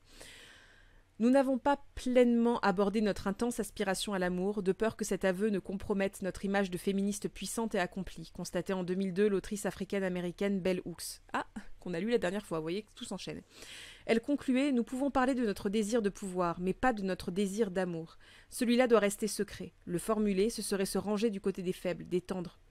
Récemment, comme je lui racontais qu'il m'arrivait de plus en plus souvent d'être reconnu dans la rue, mon ami I a commenté Tu veux dire que tu ne peux plus être sûr de rester anonyme quand tu t'accroches au cou d'un homme en public, avant d'ajouter avec malice, ou quand tu t'accroches à sa jambe en le suppliant de ne pas partir? J'ai pouffé en imaginant l'effet que produirait une telle scène après mes harangues farouches sur l'indépendance féminine dans Sorcière. J'ai découvert peu après, grâce à Christina Nering, que la vie sentimentale tumultueuse de la philosophe anglaise Mary Wollstonecraft lui avait valu d'être reniée y compris par certaines de ses consoeurs, embarrassées que l'autrice de Défense des droits de la femme ait tenté deux fois de se suicider à cause d'un homme. Le même homme les deux fois. Cette femme avait de la suite dans les idées. Petite boutade qui passe moyen, mais écoutez. Nering, elle, n'y voit aucune contradiction, bien au contraire, et je suis assez d'accord avec elle. La force des idées et celle des sentiments témoignent du même tempérament entier, passionné, de la même intrépidité. Mais voyez là par exemple le fait qu'elle fasse un rapprochement entre la politique et l'amour et notamment la politique et le couple hétérosexuel. Bien évidemment que c'est une que, qu'on est obligé de le faire euh, quand on veut euh, remettre le couple hétérosexuel au sein euh, d'une réflexion politique et militante autour de la société. Toutefois, le fait que à chaque fois elle insiste sur les sentiments et sur le fait que est-ce qu'on peut être féministe et avoir des sentiments etc pour moi c'est pas ça que j'attends d'un livre. Alors encore une fois c'est l'introduction mais elle est très très longue. Donc du coup on a l'impression qu'on fait déjà qu'on est déjà dans le livre. Je, je, je sais pas si c'est ce que j'attends d'un livre qui me dit euh, qu'il va euh, me m'aider à réinventer le système euh, du couple hétéro au sein d'une société patriarcale. Je sais très bien qu'on peut être féministe et euh, qu'on peut avoir des sentiments. Et je crois que une grande partie des féministes savent pertinemment qu'on peut être féministe et avoir des sentiments. Encore une fois, on parle de sentiments amoureux, on ne parle pas de sentiments forcément hétérosexuels d'ailleurs bien évidemment qu'on peut être féministe et avoir des sentiments. Je, trouve que c'est un peu à l'ancienne de se dire que les féministes n'en ont pas, etc. Et en plus, c'est quelque chose qui est énormément euh, pointé du doigt par toutes les personnes qui sont anti-féministes, en mode ah là là, les féministes, elles, sont, elles, oublient euh, leur, leur, capacité à aimer et à avoir des familles, etc. parce que ben, elles, elles sont pas capables d'aimer, elles sont pas capables d'être en couple, etc., etc. Et là, à nouveau, au lieu de le de le décrier, euh, je trouve qu'elle rajoute une couche sur ce truc de euh, les féministes se posent forcément la question de est-ce qu'elles peuvent aimer et, euh, et, être féministes en même temps. Or, c'est pas du tout la question, le fait de est-ce qu'on peut avoir des sentiments et être féministe. La question là, et c'est ce qu'on attend aussi d'un livre pareil, c'est de dire on peut avoir des sentiments. Justement, on est humain, donc on a tous des sentiments et on a tous des opinions. Les deux sont complètement conciliables et on peut éprouver les deux très très fortement. Seulement, comment est-ce que on s'y retrouve dans une euh, relation hétérosexuelle à partir du moment où euh, on commence à rentrer dans le vif du sujet, dans le quotidien des choses, dans le quotidien de, des tâches à répartir, euh, de la d'une société, mais on pourrait même aller euh, dans le quotidien aussi d'une réflexion autour du mariage, par exemple, et autour de l'abandon du nom, euh, etc. Je veux dire, abandon du nom d'ailleurs qui n'est plus du tout obligatoire maintenant. Mais je veux dire, voilà, il y, a quelque chose où euh, on attend plus, on attend moins, je pense, une réponse. Alors après, c'est peut-être très personnel ce que je dis encore une fois, mais une réponse autour des sentiments et de la force des sentiments qui serait ou non compatible avec ce qu'on vit soi et avec le, militantisme dont on fait preuve. Et euh, on attend plus quelque chose autour de, euh, de la, du, quotidien et du côté euh, purement oui, purement quotidien de la chose. Et c'est là où, ça pêche, voyez-vous Parce que les grands sentiments, tout le monde en est capable, mais concilier militantisme et quotidien, c'est là où on commence à se poser des questions. Donc je trouve qu'elle tape un peu à côté là-dessus, en, en disant... La force des idées et celle des sentiments témoignent du même tempérament entier, passionné, de la même intrépidité. Mais oui, oui, bien sûr.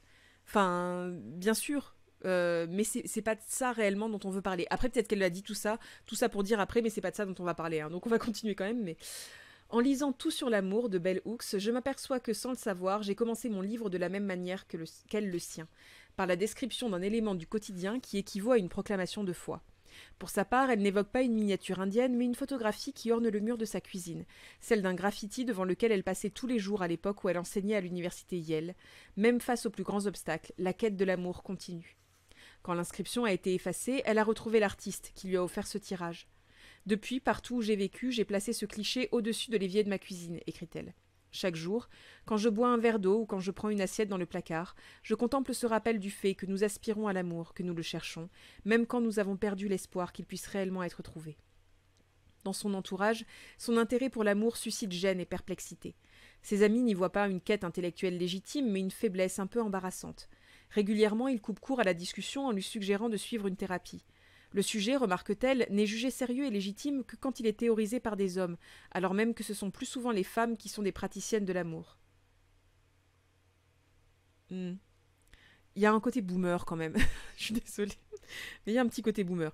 Il se produit là le même phénomène qu'avec la cuisine, domaine dans lequel on célèbre les grands chefs, qui sont essentiellement des hommes, tout en déniant aux femmes leur expertise, alors qu'elles sont bien plus nombreuses à préparer chaque jour les repas. Non mais ça par contre oui.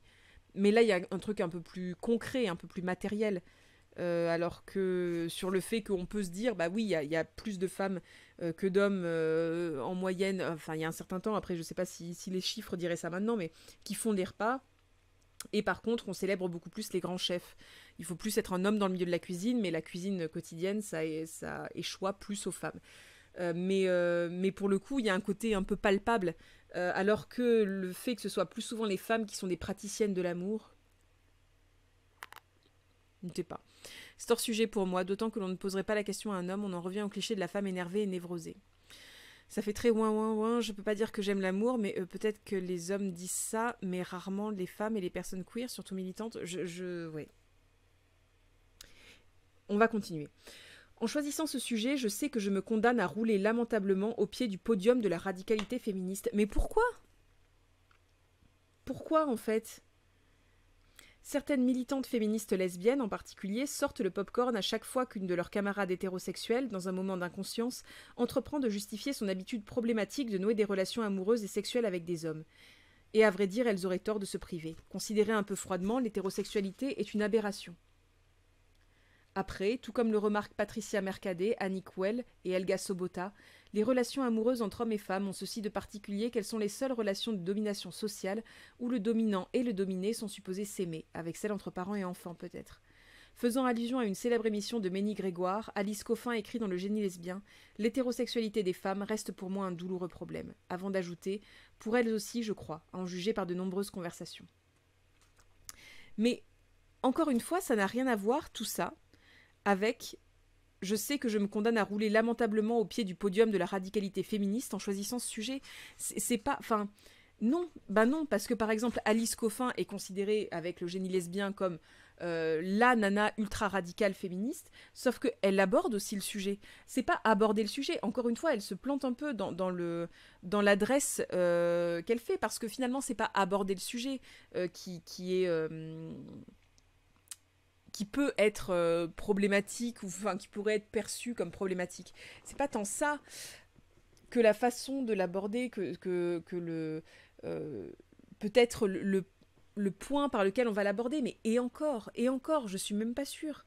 Je suis même pas sûre je suis même pas sûre que ce soit problématique à aucun moment. Enfin, je crois pas que aucune, euh, aucune femme féministe va dire oh là là, oh là là, elle parle de l'amour nul. enfin, non, non, surtout, enfin, c'est même pas ça. C'est même pas elle parle de l'amour. C'est elle, elle est en train de de conceptualiser et de réfléchir autour de l'hétérosexualité, du couple hétérosexuel. Enfin, au contraire, euh, je veux dire, c'est quelque chose qui mérite d'être fait.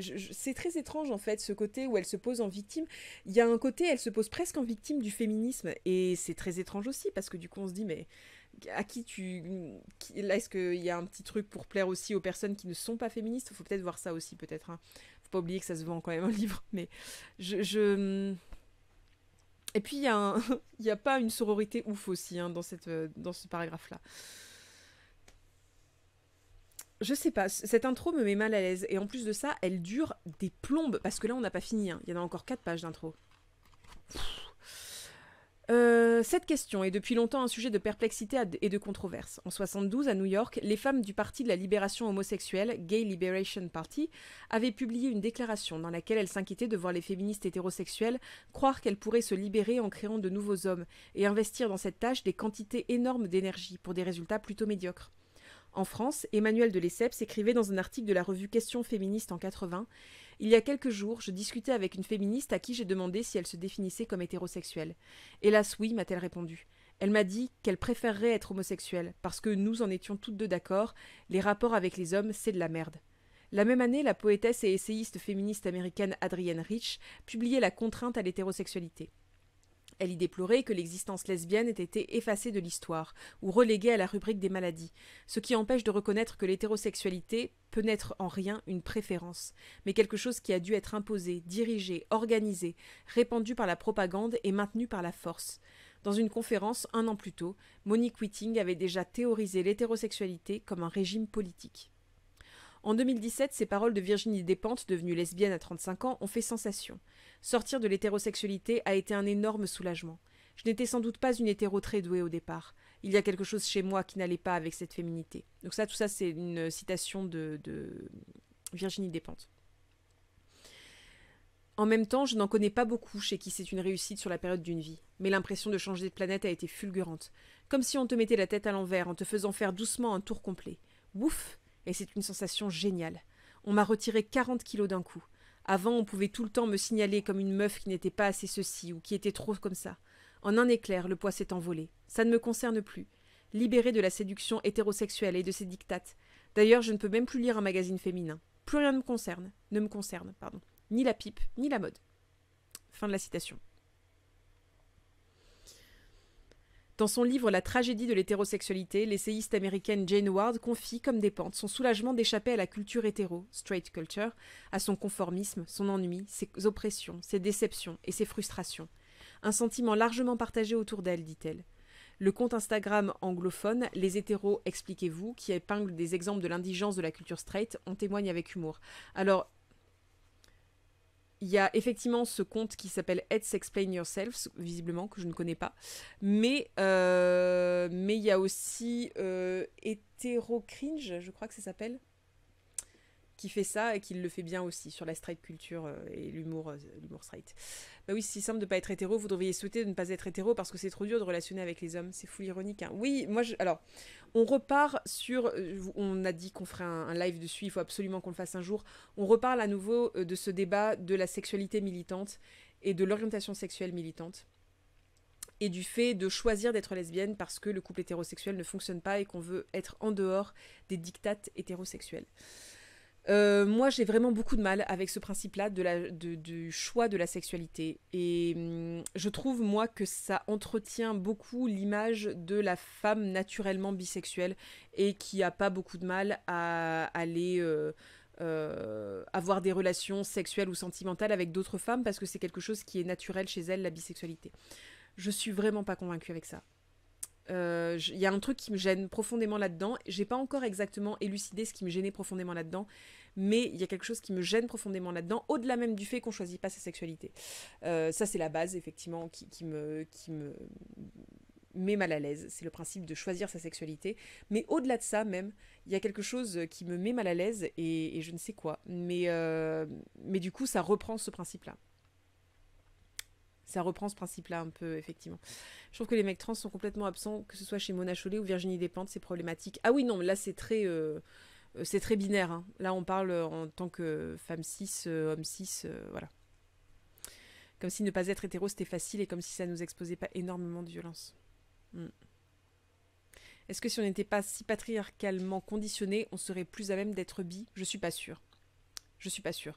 Je fais vraiment partie des gens qui pensent que la sexualité n'est pas choisie qu'elle est. Euh, enfin. Non, qu'elle n'est pas choisie, qu'elle est vraiment euh, vécue, en fait, et qu'elle n'est pas choisie. Excusez-moi, j'ai eu un moment de doute, j'entends des drôles de bruit dehors. Tout va bien. Euh, j'avais déjà entendu parler de femmes vouloir devenir nonne après rupture pas lesbienne. Ben, oui, dans, ce principe de sexualité choisie, bah, il y a ce truc, oui, de. de... Ben, du coup, euh, si vous voulez éviter les violences et tout, euh, soyez pas hétéro, puis voilà. Je sais pas. Bon, après, je pense qu'elle va le, elle va le contredire après, hein, parce que j'ai, j'ai regardé un peu en, diagonale et j'ai l'impression qu'elle le contredit justement après. Euh, donc non, je, je suis pas certaine que, que, ce soit la, la société patriarcale qui fait qu'on n'est pas bi. Par contre, je pense que la société patriarcale telle qu'elle est empêche beaucoup de personnes, hommes ou femmes, euh, de se revendiquer comme bi et de même s'imaginer comme étant bi. Mais, euh, par contre, je suis pas certaine que des personnes qui ne le sont pas le seraient euh, dans une société moins patriarcale. Enfin, je, je, ouais, je sais pas. Elle se demande d'ailleurs si l'homophobie n'est pas motivée par une jalousie obscure. Attendez. Non, Pardon. Certes, écrit Jane Ward, j'ai loupé une, phrase avant. La norme hétérosexuelle dominante suscite de la souffrance pour les lesbiennes et les gays, mais ce n'est qu'une petite partie de l'expérience homosexuelle, qui occulte la joie et le plaisir, ainsi que le soulagement de ne pas être hétérosexuel. Mais ça, je peux l'entendre, vraiment. Elle se demande d'ailleurs si l'homophobie n'est pas motivée par une jalousie obscure. Les homosexuels sont haïs et enviés parce qu'on nous soupçonne d'avoir échappé à quelque chose. Ça, je trouve que c'est assez, euh, assez intéressant pour le coup. Mais là, on parle pas euh, on parle pas du tout de, choix d'une sexualité. Là, on parle de qu'est-ce que ça fait d'être homosexuel, par exemple. Mais c'est assez différent, je trouve. Observant que vers la fin du XXe siècle, la culture majoritaire leur reprochait souvent leur attitude trop spectaculaire, trop exubérante, trop sexuelle, trop confiante, elle conclut que si cette culture est trop, la culture hétérosexuelle, elle, n'est pas assez. Trop terne, trop étriquée, trop peu imaginative. Elle signale aussi que le refrain de celle qui se lamente de ne pas être lesbienne agace sérieusement nombre de ses amis. Pourquoi ne le sont-elles pas alors? Ce n'est pas si difficile. Bah, bon. Euh, avançons le rêve d'une hétérosexualité profonde. Les propos de Despentes ont beaucoup contribué à ranimer les discussions sur le lesbianisme politique dans le féminisme français. On court cependant le risque d'idéaliser les relations homosexuelles, qui ne sont pas forcément dépourvues de rapports de domination, même s'il ne s'agit pas d'une domination structurelle comme la domination masculine. Au Québec, la politique en matière de violence conjugale inclut d'ailleurs les lesbiennes depuis 1995, en partant du principe qu'elles ne vivent pas en dehors de la société et peuvent refléter dans leurs relations des attitudes et des comportements qui existent tout autour. Et puis, peut-on choisir son, orientation sexuelle? Ah voilà, vous voyez? On en parle. Euh, mais il y a cette hypothèse aussi comme quoi l'hétérosexualité totale ou l'homosexualité totale sont extrêmement rares dans l'humanité. Je n'ai pas beaucoup lu de trucs euh, vraiment euh, très argumentés dessus, donc je peux pas trop en parler. J'ai peut-être mal compris, mais la bisexualité, ce n'est pas 60% hétéro, 40% gay ou quelque chose comme ça, en fait. Je sais pas. Vraiment, là, je... Je... Ouais, je sais pas. Non, la bisexualité, c'est être attiré par son genre et les autres, quelles que soient les proportions. Oui, non, mais c'est ça, c'est ça. Mais sur le côté, euh, euh, est-ce qu'on n'est pas plus à être bi que à être réellement hétéro ou réellement homo? Je ne sais pas. J'en sais rien. Euh, au Québec, la politique en matière de violence conjugale inclut... Attendez. Non, oui, tout va bien. Peut-on choisir son orientation sexuelle? C'est ça. Je ne me lancerai pas dans ce débat ici, mais quoi qu'il en soit, il vaut la peine d'ouvrir le chantier des relations hétérosexuelles. C'est d'ailleurs ce qu'a voulu faire Jane Ward elle-même dans son livre Actualiser l'hétérosexualité plutôt que la défaire. Puisque certaines femmes et hommes tiennent à leur attirance mutuelle, tout en cherchant comment surmonter les difficultés structurelles auxquelles ils se heurtent, il lui a semblé que son expérience et son point de vue de lesbienne pouvaient être utiles. Pour mener son enquête, elle s'est immergée dans la culture straight, allant jusqu'à assister, en tant qu'observatrice, à des séminaires destinés à apprendre aux hommes comment draguer. Tandis que je regarde les participants prendre en note ce monologue hétéronormatif à vous donner la nausée, je dois lutter pour ne pas écarquiller les yeux de répulsion queer. Fin de la citation. À la suite de la militante et réalisatrice de films pornographiques Tristan Taormino, elle souligne que les lesbiennes ont souvent montré la voie aux hétérosexuels en matière de sexe et de relations amoureuses. C'est à des féministes lesbiennes qu'on doit l'apparition de sex shops bien éclairés, débarrassés de la honte, orientés vers l'éducation, comme Good Vibrations ou Babeland, des entreprises américaines, où des couples hétéros ordinaires peuvent désormais acheter des jouets sexuels sans avoir l'impression d'être des déviants. C'est à elles aussi qu'on doit le concept de non-monogamie éthique, l'existence du porno féministe, la notion audacieuse selon laquelle on peut continuer à entretenir des liens d'amitié et à faire famille avec d'anciens partenaires amoureux l'insistance sur le consentement et les égards dans les pratiques sulfureuses, ou encore l'idée radicale selon laquelle des femmes peuvent porter des godes ceintures et pénétrer des gens, y compris leurs petits amis et leurs maris. Ça, je ne m'avancerai pas dessus, étant donné que je, je, ne sais pas si, ça vient euh, d'une culture lesbienne, mais ce qui est sûr, c'est que tout ce passage-là, c'est écrit dans The Tragedy of Heterosexuality par Jane Ward. L'un des plus gros problèmes qu'identifie Jane Ward, c'est le paradoxe de la misogynie, un paradoxe dont Donald Trump est sans doute l'incarnation ultime, le fait que les hommes hétérosexuels expriment leur désir pour les femmes au sein d'une culture qui les encourage à mépriser et à haïr les femmes. Cette association entre hétérosexualité et misogynie a été si bien naturalisée que systématiquement, l'absence de machisme est interprétée comme un signe d'homosexualité.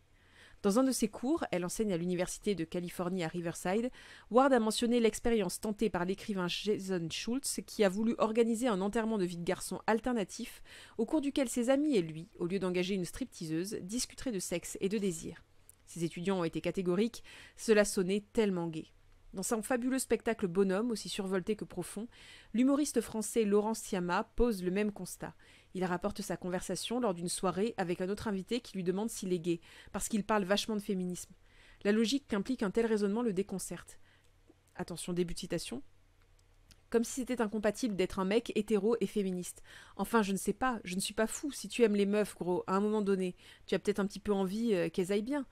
Comment on en est arrivé là? Un monde tellement misogyne et homophobe que d'un coup c'est genre Attends, tu te soucies des meufs? Tellement gay T'es mal le mec, il pense de bien-être de meufs autour de lui, mais gay de ouf Je comprends pas. Fin de citation. Euh, vous êtes en train de débattre de, tout ça dans les, dans le chat, je, vous laisse à vos débats. Dans des pages franchement délectables, Jane Ward suggère d'embrasser ce qu'elle appelle l'hétérosexualité profonde. Plutôt que de subir leur orientation sexuelle comme une fatalité, dit-elle, les hommes et les femmes hétéros pourraient l'investir activement, y réfléchir, se l'approprier. Ce serait particulièrement utile pour les hommes qui sont encouragés à envisager leurs désirs comme purement physiologiques, hors de leur contrôle, et si compartimentés qu'ils peuvent déconnecter leur convoitise pour les femmes de leur appréciation d'elles en tant que personnes. S'ils aiment les femmes, argue-t-elle, alors qu'ils les aiment vraiment. Les hommes hétéros pourraient devenir si irrésistiblement hétérosexuels qu'ils seraient avides d'entendre la voix des femmes, qu'ils souhaiteraient les voir à des postes de pouvoir, qu'ils brûleraient de connaître leur pleine humanité et vibreraient à leur libération. C'est comme cela que les féministes lesbiennes désirent les femmes. Je ne suis pas désespérée par la tragédie de l'hétérosexualité, parce qu'une autre voie est possible.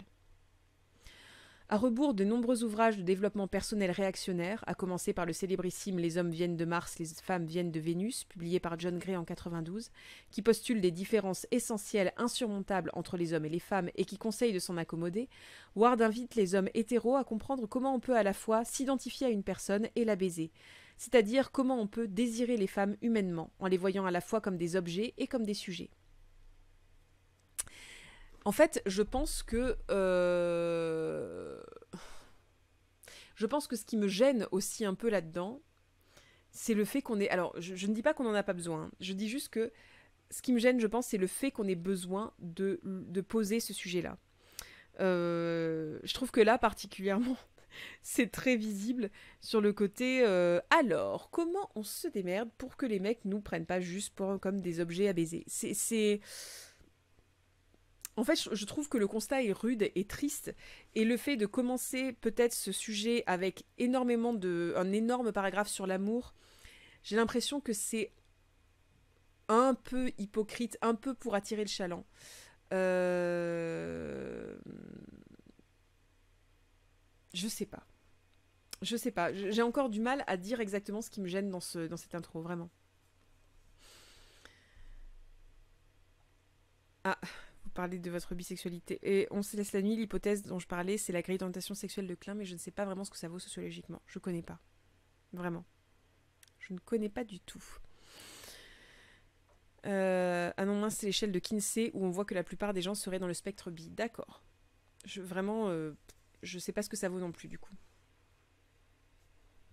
Bref, où en étions-nous? Elle souligne une contradiction en particulier. Ces hommes sont censés éprouver un désir instinctif et irrépressible pour les femmes, et pourtant, bien souvent, le corps féminin doit présenter certaines caractéristiques ou altérations bien précises pour trouver grâce à leurs yeux. Il doit être jeune, mince, épilé, parfumé. Là encore, il pourrait s'inspirer des lesbiennes, davantage capables de désirer une femme dans sa totalité, avec ses cicatrices, ses bourrelets, ses rides, son expérience, sa personnalité. Ainsi, conclut-elle, ils deviendraient des hommes authentiquement hétérosexuels, et non des pseudo-hétérosexuels qui utilisent les femmes pour impressionner les autres hommes. La tendance de certains à perdre tout intérêt pour une femme une fois qu'ils ont couché avec elle peut-elle aussi être interprétée comme un signe de cette pseudo-hétérosexualité, ou hétérosexualité superficielle? Ces hommes manifestent non pas un intérêt pour la personne et la relation elle-même, pour la façon dont elle pourrait enrichir leur vie, mais un simple besoin de conquête, de gratification narcissique, afin d'améliorer leur statut ou leur image. Ward encourage ses lectrices à se montrer assez audacieuses pour attendre cela d'eux, pour demander tellement plus aux hommes hétérosexuels et à leur prétendu amour des femmes.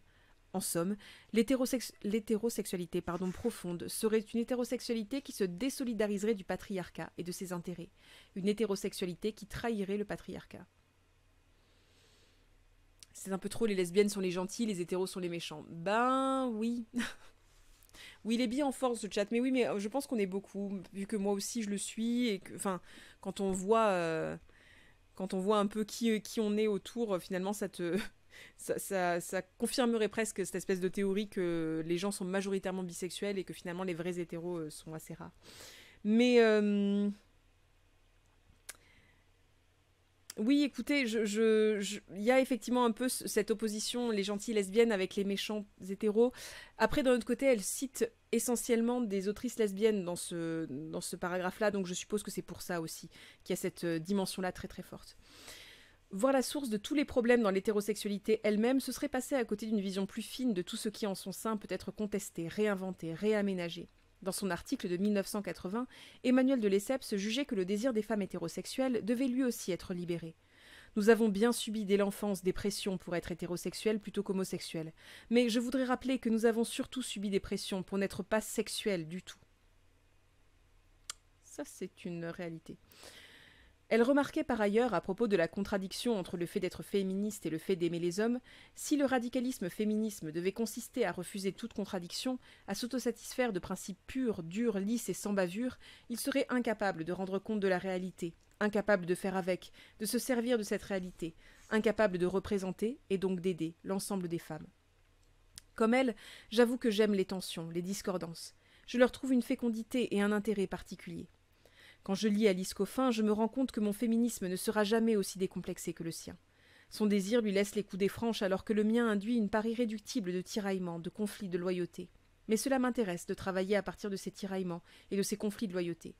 Et puis, si on dénonce les violences et les injustices subies par les femmes, si on prend la peine de mettre au jour aussi des manifestations de sexisme plus insidieuses, c'est bien qu'on croit à une voie de sortie du monde obstinément patriarcal dans lequel nous vivons. On croit que ce système peut être subverti et dès lors, on peut croire aussi à la possibilité d'un changement dans nos relations intimes et personnelles. Je commencerai par examiner l'arrière-plan culturel sur lequel l'amour se déploie dans notre société, un canevas marqué, me semble-t-il, par la frilosité et le manque d'imagination, mais aussi, à l'autre extrême, par une certaine complaisance pour l'échec, la tragédie, la mort. Ces deux attitudes traduisent en définitive la même incapacité à embrasser l'amour, à le vivre dans sa réalité et sa quotidienneté de manière à la fois inventive et confiante. J'examinerai ensuite comment nos représentations romantiques sont construites sur la sublimation de l'infériorité des femmes, de sorte que nombre d'entre elles s'entendent signifier qu'elles sont trop pour, trouver grâce aux yeux d'un homme. Trop grandes, trop fortes, au sens physique et littéral de ces deux termes, trop brillantes, trop créatives, etc. Sans que pour autant celles qui semblent cocher toutes les bonnes cases et ne pas menacer l'ego masculin se révèlent forcément plus heureuses en amour, et pour cause, puisqu'il est difficile de construire son épanouissement sur la négation ou la limitation de soi. Chapitre 1. Puis je m'intéresserai au mécanisme des violences conjugales, non pas en tant qu'anomalie ou déviance, mais en tant qu'aboutissement logique des comportements prescrits aux hommes et aux femmes par les normes sociales. Donc ça c'est dans le chapitre 2.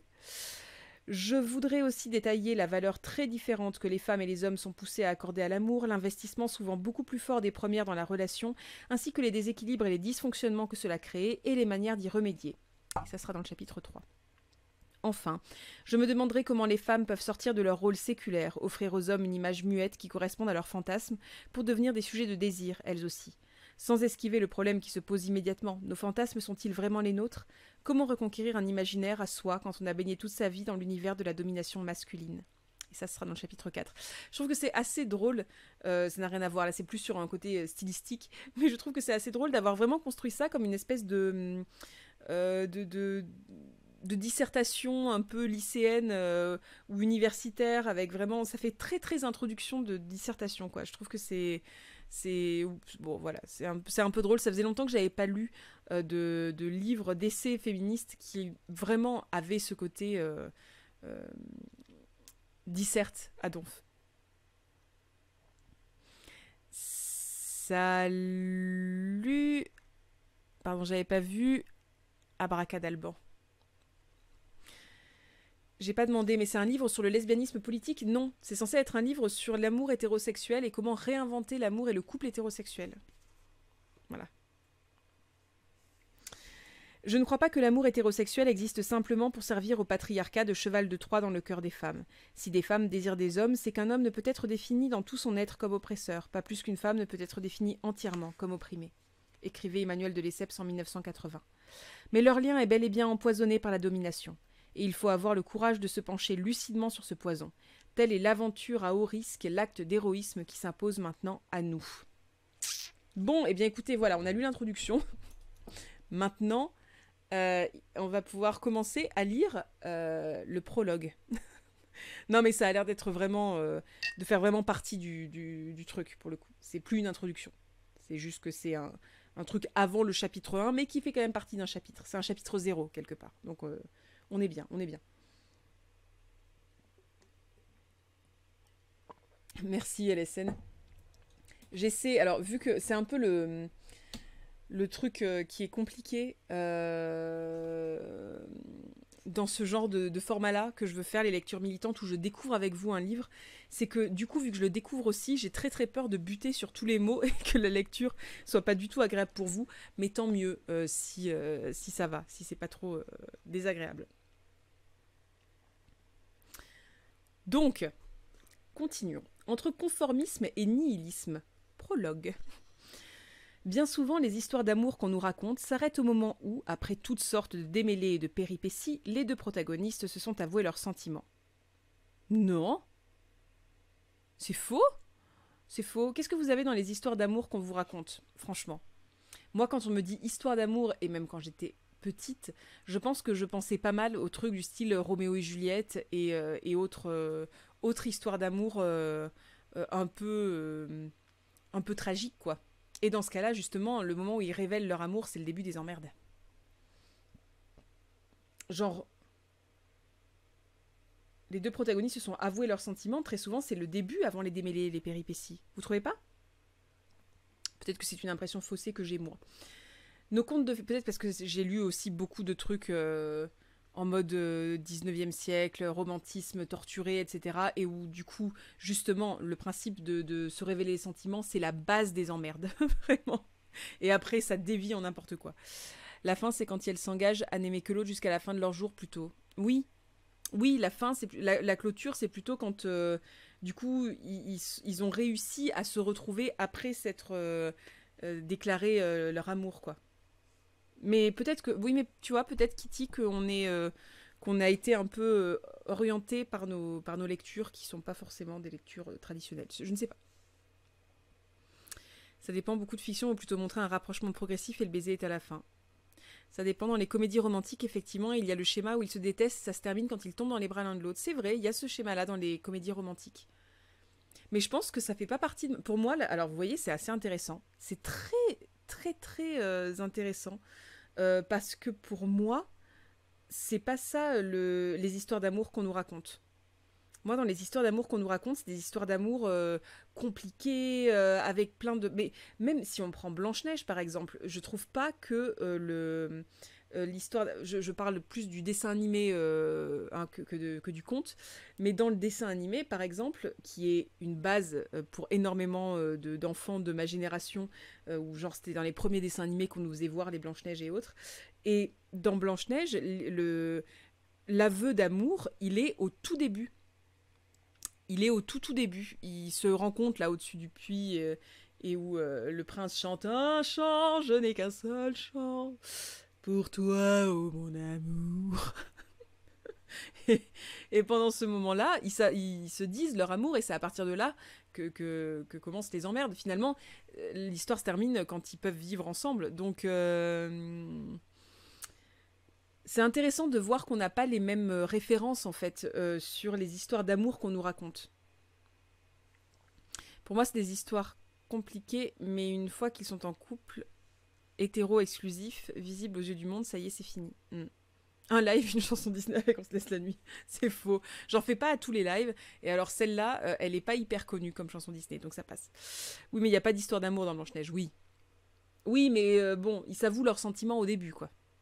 Perso, j'ai souvent l'impression, euh, on suit l'histoire du mec qui fait une prouesse et il a la femme en récompense. Ça arrive, ouais. Mm. Genre, il sauve le monde, par exemple. Non, moi j'ai Matrix, genre au début, il n'y a pas de love et ensuite gros bisous. Oui. c'est vrai. C'est drôle, on a, on a tous des références différentes au niveau de la pop culture. Bon, bref.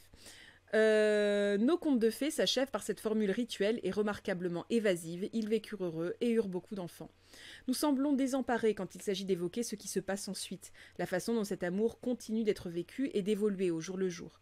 Nous estimons qu'il n'y a rien à en dire, nous trébuchons, l'imagination soudain paralysée. J'y pense encore devant Normal People, la série tirée du roman de la jeune écrivaine Sally Rooney, qui a co-signé le scénario. On y suit Marianne et Connell. Vous connaissez Normal People? Je connais pas. On y suit Marianne et Connell, deux lycéens d'une petite ville irlandaise. Ils tombent amoureux et leur histoire se poursuit après leur entrée à l'université à Dublin.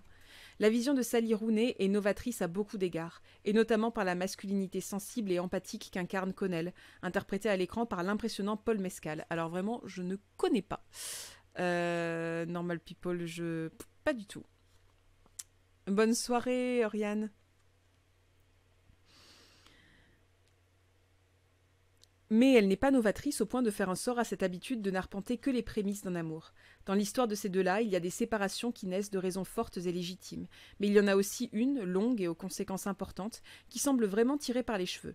Ils rompent à cause d'un malentendu qui pourrait être dissipé en trois ou quatre messages, ou en dix minutes autour d'un café.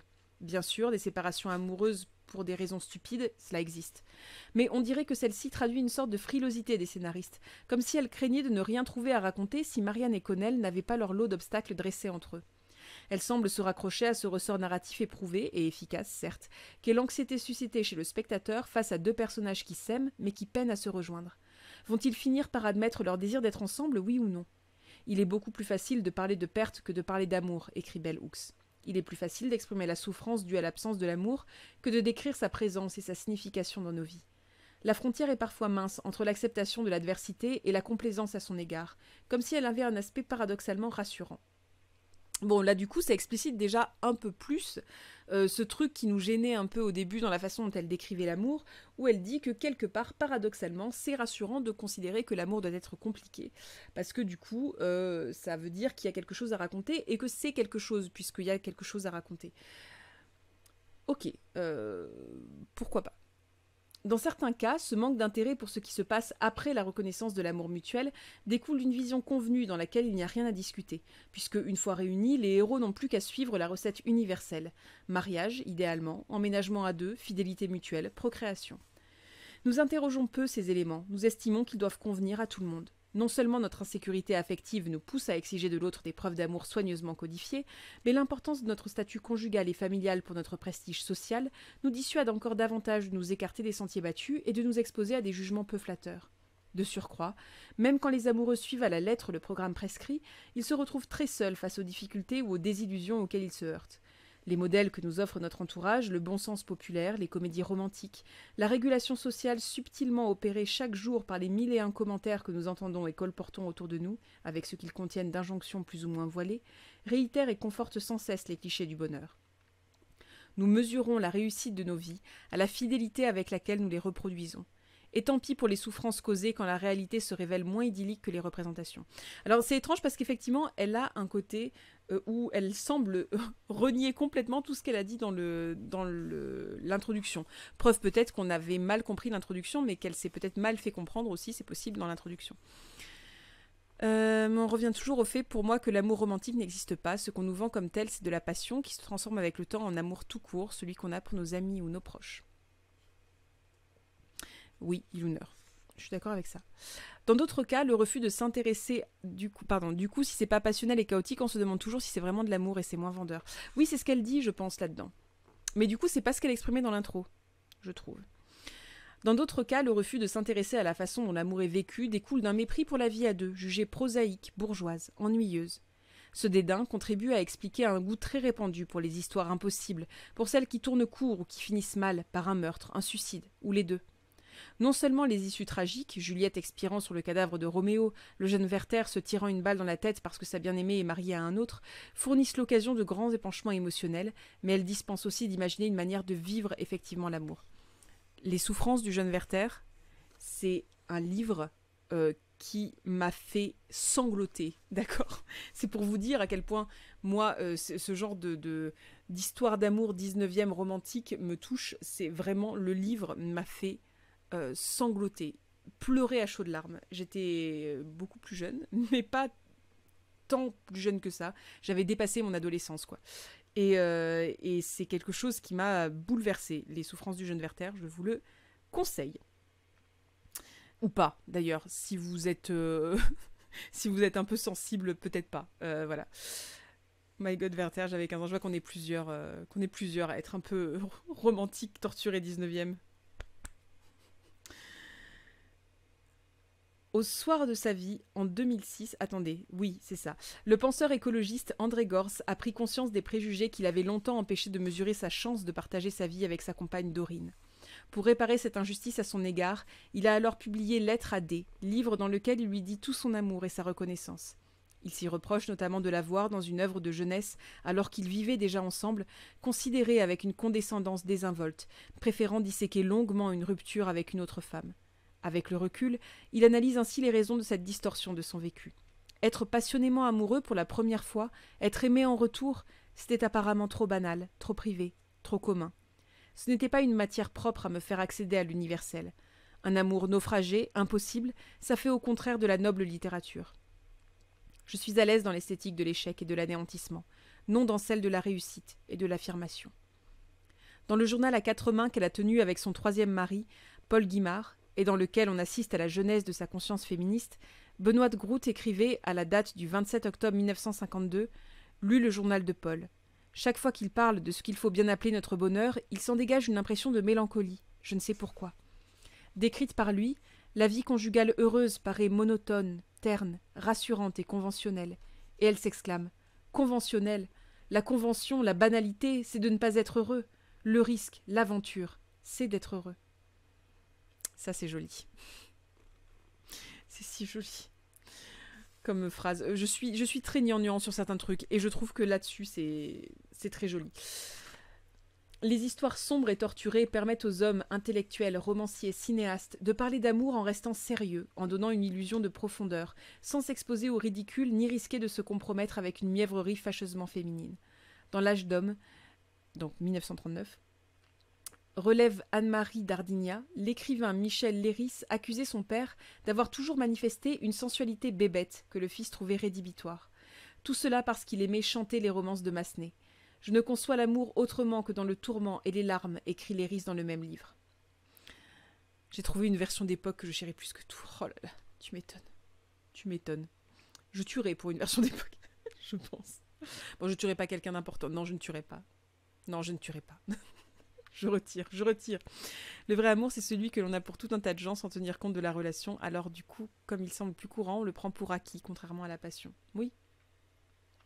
Il est confortable parce qu'il est rassurant et qu'il est... Et, euh, oui, oui, et peut-être que le côté rassurant, ça va pas avec l'amour pour plein de personnes. Mais je trouve que euh, global. Alors attendez, on va, on va attendre peut-être un peu plus loin aussi plutôt que d'interpréter tout de suite. Mais c'est intéressant qu'on soit obligé de redire que l'amour simple et l'amour sans heurts existent euh, au début d'un livre sur réinventer l'amour. Finalement, c'est pas tant autour du patriarcat et des relations hétérosexuelles qu'autour de l'amour et de la façon dont l'amour nous. Euh, dont l'amour est présenté d'une certaine façon dans une société dans laquelle on vit. Mais je trouve que ça s'applique pas qu'aux hétérosexuels, ça, finalement. Ce truc-là. Même s'il y a ce principe du les hommes sont moins autorisés à dire leur, leur sensibilité, etc. Mais juste avant, elle dit euh, que finalement les femmes ne le sont pas non plus, surtout chez les féministes. Donc je trouve que là, pour le coup, il y a un côté, euh, y a un côté plus livre sur l'amour que livre féministe sur le, couple hétérosexuel.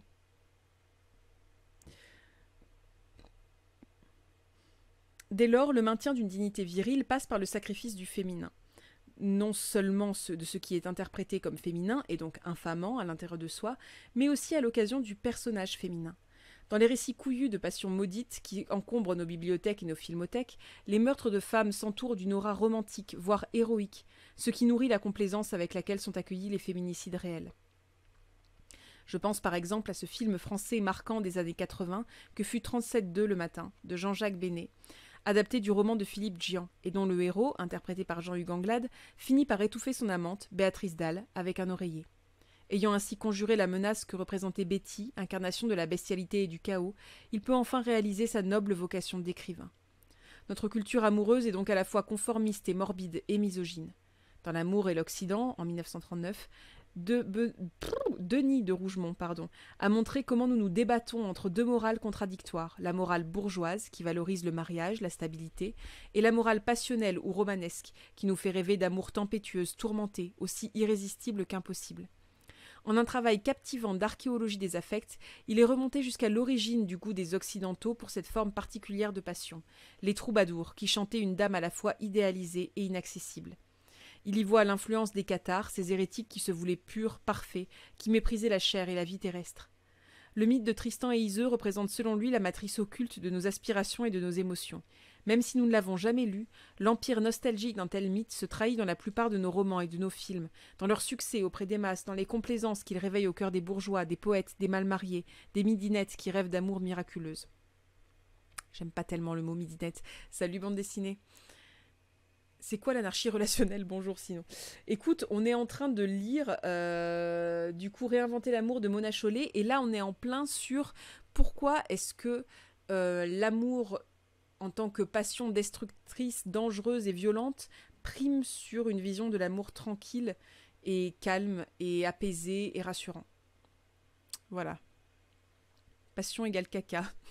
enfin, c'est ce que je pense quand ma nostalgie palpe les balafres poufis de mon petit cœur. Oh, c'est si joliment dit. Euh, mais si je ne me trompe pas, elle est folle, Betty, dans 37.2. Je sais pas, j'ai jamais vu 37.2 le matin. Je ne sais pas. Euh, au cas où c'était pas assez flagrant, je fais de la propagande pour l'anarchie relationnelle à plein régime. Et bah du coup, Iluner n'hésite pas à expliquer euh, ce qu'est l'anarchie relationnelle pour toi. Bonne soirée, Hermel. Donc je déteste le mot midinette, voilà, je le redis. Dans la passion telle qu'il l'a définie ici, l'autre est un simple pourvoyeur de transport émotionnel. On le préfère lointain que proche. On aime un état plus qu'une personne. À travers leur amour impossible, Iseux doit épouser le roi Marc, Tristan et Iseux aspirent à l'absolu de la mort, qu'ils finissent par atteindre. Aimer au sens de la passion, c'est alors le contraire de vivre, écrit Denis de Rougemont.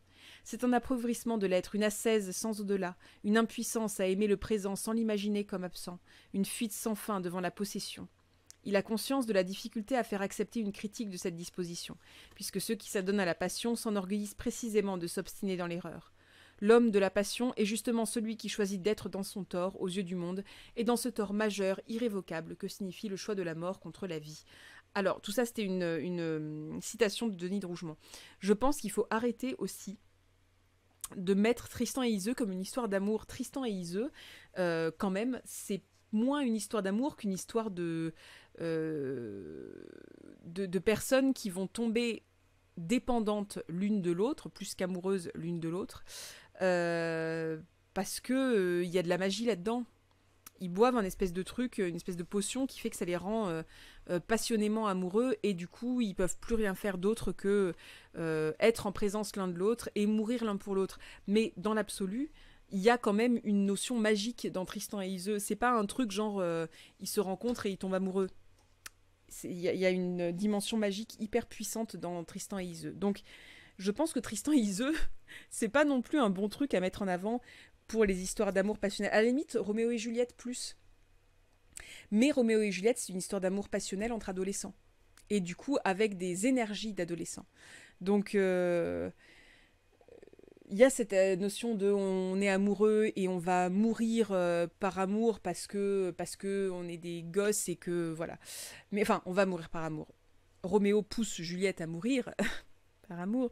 C'est lui qui cherche à mourir par amour depuis le début, finalement. Mais même là-dessus, sur Roméo et Juliette, on ne sait pas à quel point on peut avoir une vision euh, amoureuse de la chose, parce que peut-être que Juliette tombe amoureuse, ou alors juste elle se dit que c'est un bon moyen pour, euh, pour fuir euh, quelque part les les obligations auxquelles la vie euh, d'être euh, de Capulet et de une seule fille héritière d'une des familles les plus fortes de Vérone l'oblige euh, mais dans l'absolu l'histoire d'amour est, est, relativement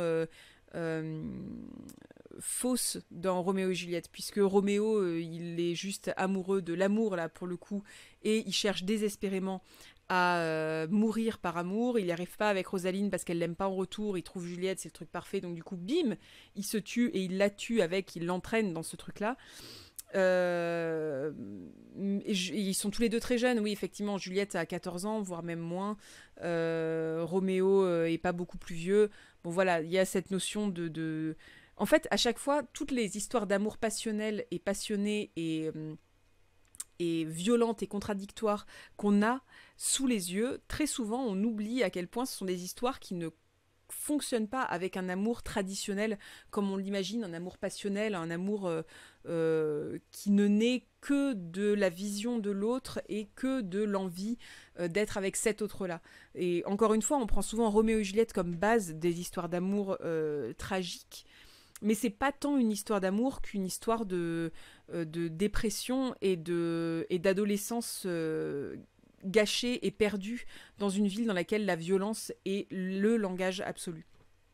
Et, euh, du coup, je, trouve que c'est euh, euh, c'est un tort de mettre les Tristan et Iseux et les Roméo et Juliette comme des histoires d'amour parce que c'est pas l'amour qui les guide.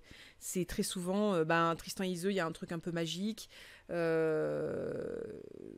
et Juliette, il y a une un mal-être profond d'adolescent. Enfin, c'est. Belle du Seigneur, anticarte du tendre. Ah, donc là, tous ceux qui n'ont pas lu Belle du Seigneur, je ne sais pas à quel point vous allez pouvoir euh, suivre exactement.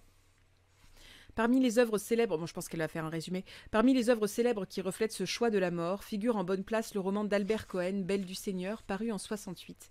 Ses héros, Ariane et Solal, incarnent de la manière la plus extrême l'incapacité à s'aventurer au-delà de l'état de grâce de la rencontre. Cela les mène au suicide dans une scène finale indéniablement très émouvante. L'auteur s'était fait la main en cours de route avec deux personnages secondaires laissés pour compte de la glorieuse idylle naissante. De sorte que là encore, on referme le livre en essuyant une larme. Belle du Seigneur, considéré comme l'un des grands romans d'amour de la littérature française du XXe siècle, peut être lu comme une cartographie fictionnelle de toutes les erreurs dans lesquelles nous précipite le culte de la passion. Il vaut la peine de s'y attarder un peu. Ces héros se rencontrent dans la Genève des années 30. Solal est sous-secrétaire général de la Société des Nations, Ariane, issue de l'aristocratie genevoise, est mariée à Adrien Deum, un benet qui travaille à la SDN. Denis de Rougemont signalait que l'existence concrète du mari, méprisé par l'amour courtois, est le plus évident de ces obstacles dont se nourrit la passion. Dans le mythe de Tristan et Iseux, le roi Marc, époux d'Iseux, représente l'archétype. Ouais, mais vraiment, faire une allégorie avec Tristan et Iseux là-dessus, je suis vraiment pas convaincue. Tu penses quoi de Héloïse et Abélard? Euh, je ne sais pas trop ce que je pense de Héloïse et Abélard, parce que dans Héloïse et Abélard, il y a des notions aussi de pouvoir qui sont assez fortes, de société dans laquelle les femmes ne pouvaient pas faire grand-chose, euh, de... Hum, et, d'enjeux euh, aussi de... d'éducation parce que Abélard du coup était le, précepteur d'Héloïse au début. Donc du coup je, je fin, je sais pas si je verrais ça aussi comme une grande histoire d'amour euh, mais pas plutôt comme un espèce de d'attachement à une situation pour échapper à, à ce qu'on est en train de vivre et qui ne nous convient pas.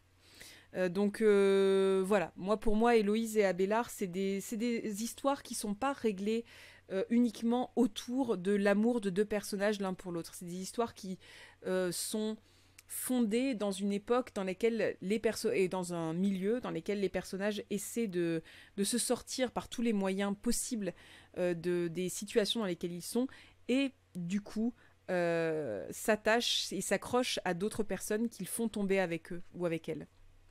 Moi c'est pas mal ça euh, que, ça m'évoque. Mais bon.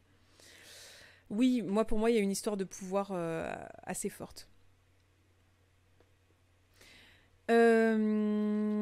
Où en est-on? Oui, on parlait Tristan et Iseux. Bref, et donc on parlait surtout de Solal et d'Ariane. Pour se débarrasser de son subordonné et mieux séduire sa femme, Solal lui confie une mission au long cours à l'étranger. Lorsque le mari revient, les amants s'enfuient ensemble dans le sud de la France, où ils vivent en huis clos, d'abord à l'hôtel, puis dans une somptueuse maison de location. Leur solitude est à moitié subie, à moitié choisie. Devenus des parias dans la bonne société qu'ils fréquentaient, ils se retrouvent isolés, rejetés, mais ils se sentent de toute façon tenus de faire comme s'ils n'avaient pas besoin des autres, comme s'ils se suffisaient l'un à l'autre. Encore pourrait-il, dans cette situation, maintenir vivante l'intensité de leur tête-à-tête. Mais au lieu de cela, ils se contentent de rejouer indéfiniment les débuts de leur histoire, dont ils ont fétichisé le souvenir, dans une sorte de pantomime funèbre. Très vite, sans oser se l'avouer, ils s'ennuient à mourir, et le seul moyen qu'ils trouvent de raviver la flamme est de se faire souffrir.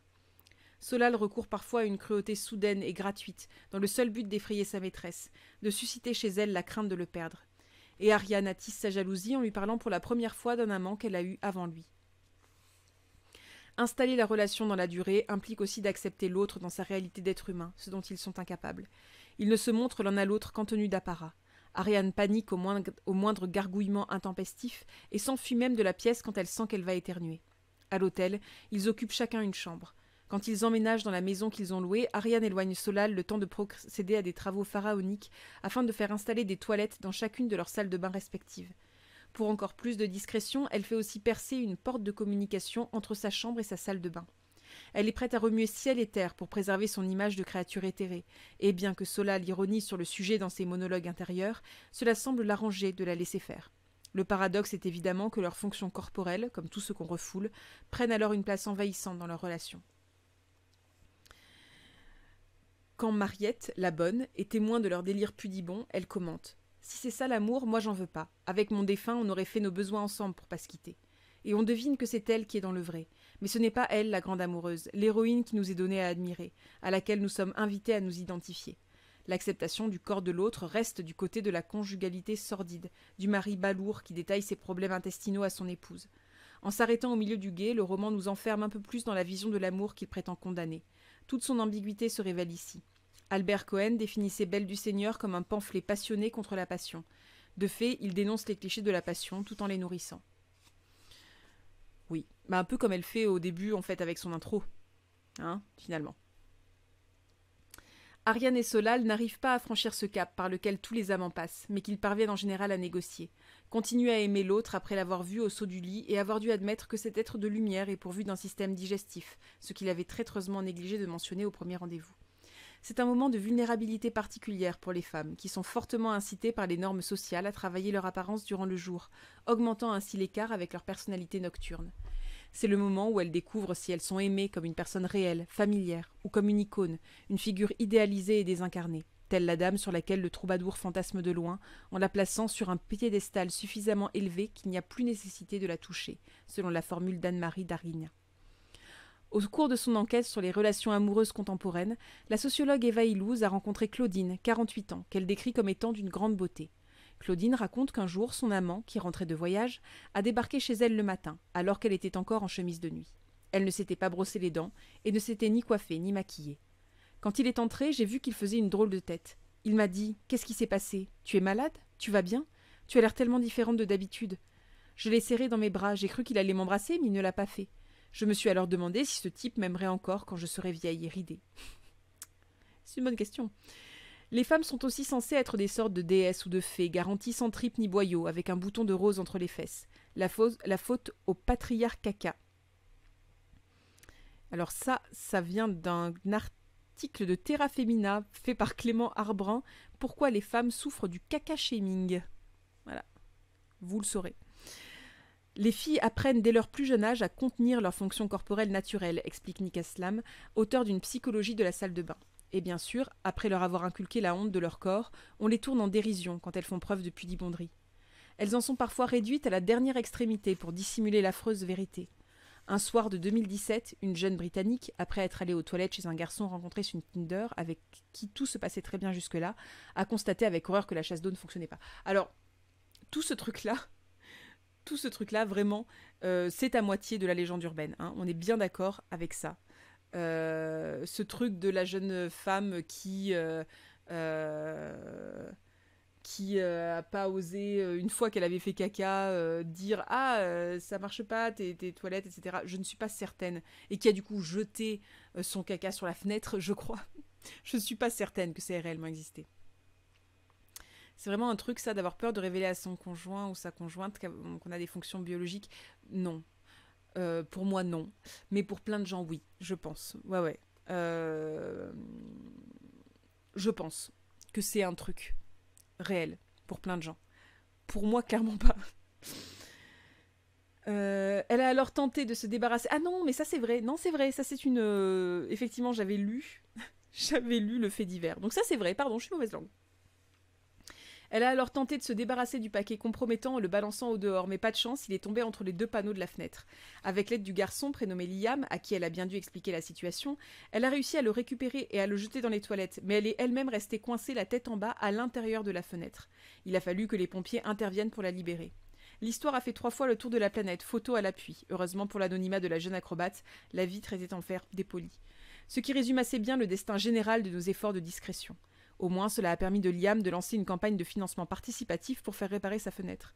Ayant récolté dix fois la somme nécessaire grâce à un élan de solidarité mondiale, il a versé le surplus à une association qui a construit des toilettes dans les pays du Sud, ainsi qu'aux pompiers. Aux dernières nouvelles, il envisageait de recontacter son invité d'un soir pour lui proposer un café. Dans ce contexte, la joyeuse obsession scatologique de Rachel Bloom, créatrice et actrice de la série américaine Crazy Ex-Girlfriend, très très bonne série, vraiment.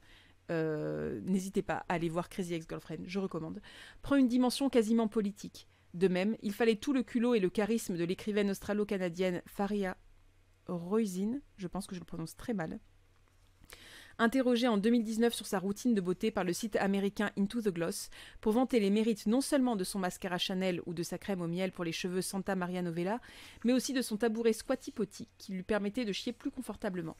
En tant que femme, nos mères nous disent de ne pas parler de ces choses-là, alors nous nous censurons et nous les escamotons, déclarait-elle. Pulvérisant tous les tabous à la fois, elle évoquait aussi ses problèmes de santé mentale, sa consommation d'herbe et mentionnait sa marque de lubrifiant et son type de godemiché préféré, parce que finalement, quand on fait un truc, autant tout faire.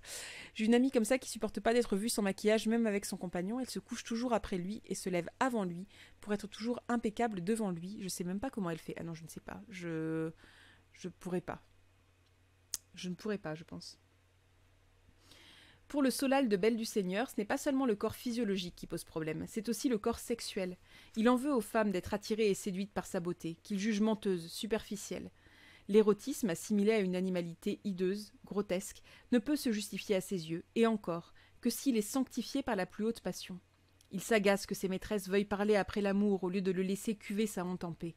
Sa répugnance éclate, en même temps que sa possessivité, dans ces scènes de jalousie lorsqu'il apprend qu'Ariane a eu un autre amant avant lui. Il se met alors à ravager leur chambre d'hôtel, à s'automutiler, à l'humilier. Peu importe que lui-même ait eu d'autres maîtresses pendant leur histoire, il est horrifié d'imaginer son Ariane, qui voulait croire si pure, souillée par une sexualité bestiale. Ces pages sont celles où les idées rétrogrades d'Albert Cohen apparaissent le plus clairement. Fait intéressant, il racontait en 80 que sa troisième épouse, Bella Cohen, qui avait d'abord engagé comme secrétaire et qui a dactylographié quatre fois le manuscrit de Belle du Seigneur parce qu'il en rajoutait sans cesse, le livre fait 1100 pages en édition de poche, donc ça a dû être un sacré travail, était opposée à ces scènes et aurait voulu qu'il les supprime. Elle avait tort, concluait-il péremptoire. La passion permet donc au protagoniste masculin de rester enfermé dans sa vision immature et défiante des femmes. Elle sert de paravent à une posture élitiste qui méprise à la fois la vie terrestre, quotidienne, charnelle et les femmes qui lui sont associées. Sauf que cette posture est bien plus banale et convenue que ne veulent le penser ses adeptes, évoquant la vogue du chic nihiliste en littérature en 2004, Nancy Huston parlait joliment d'un élitisme grégaire. Les convictions misogynes de Solal, censées être l'amant magnifique de la littérature française, font peu de doute. Ainsi, il n'ose pas avouer à Ariane qu'il a été démis de ses fonctions à la Société des Nations après avoir plaidé avec un peu trop d'insistance, en pleine montée du nazisme, pour l'accueil des Juifs d'Allemagne fuyant les persécutions, ni qu'on lui a retiré sa nationalité française, faisant de lui un apatride, car il ne pense pas que l'amour de sa maîtresse survivrait à la disparition de son prestige social.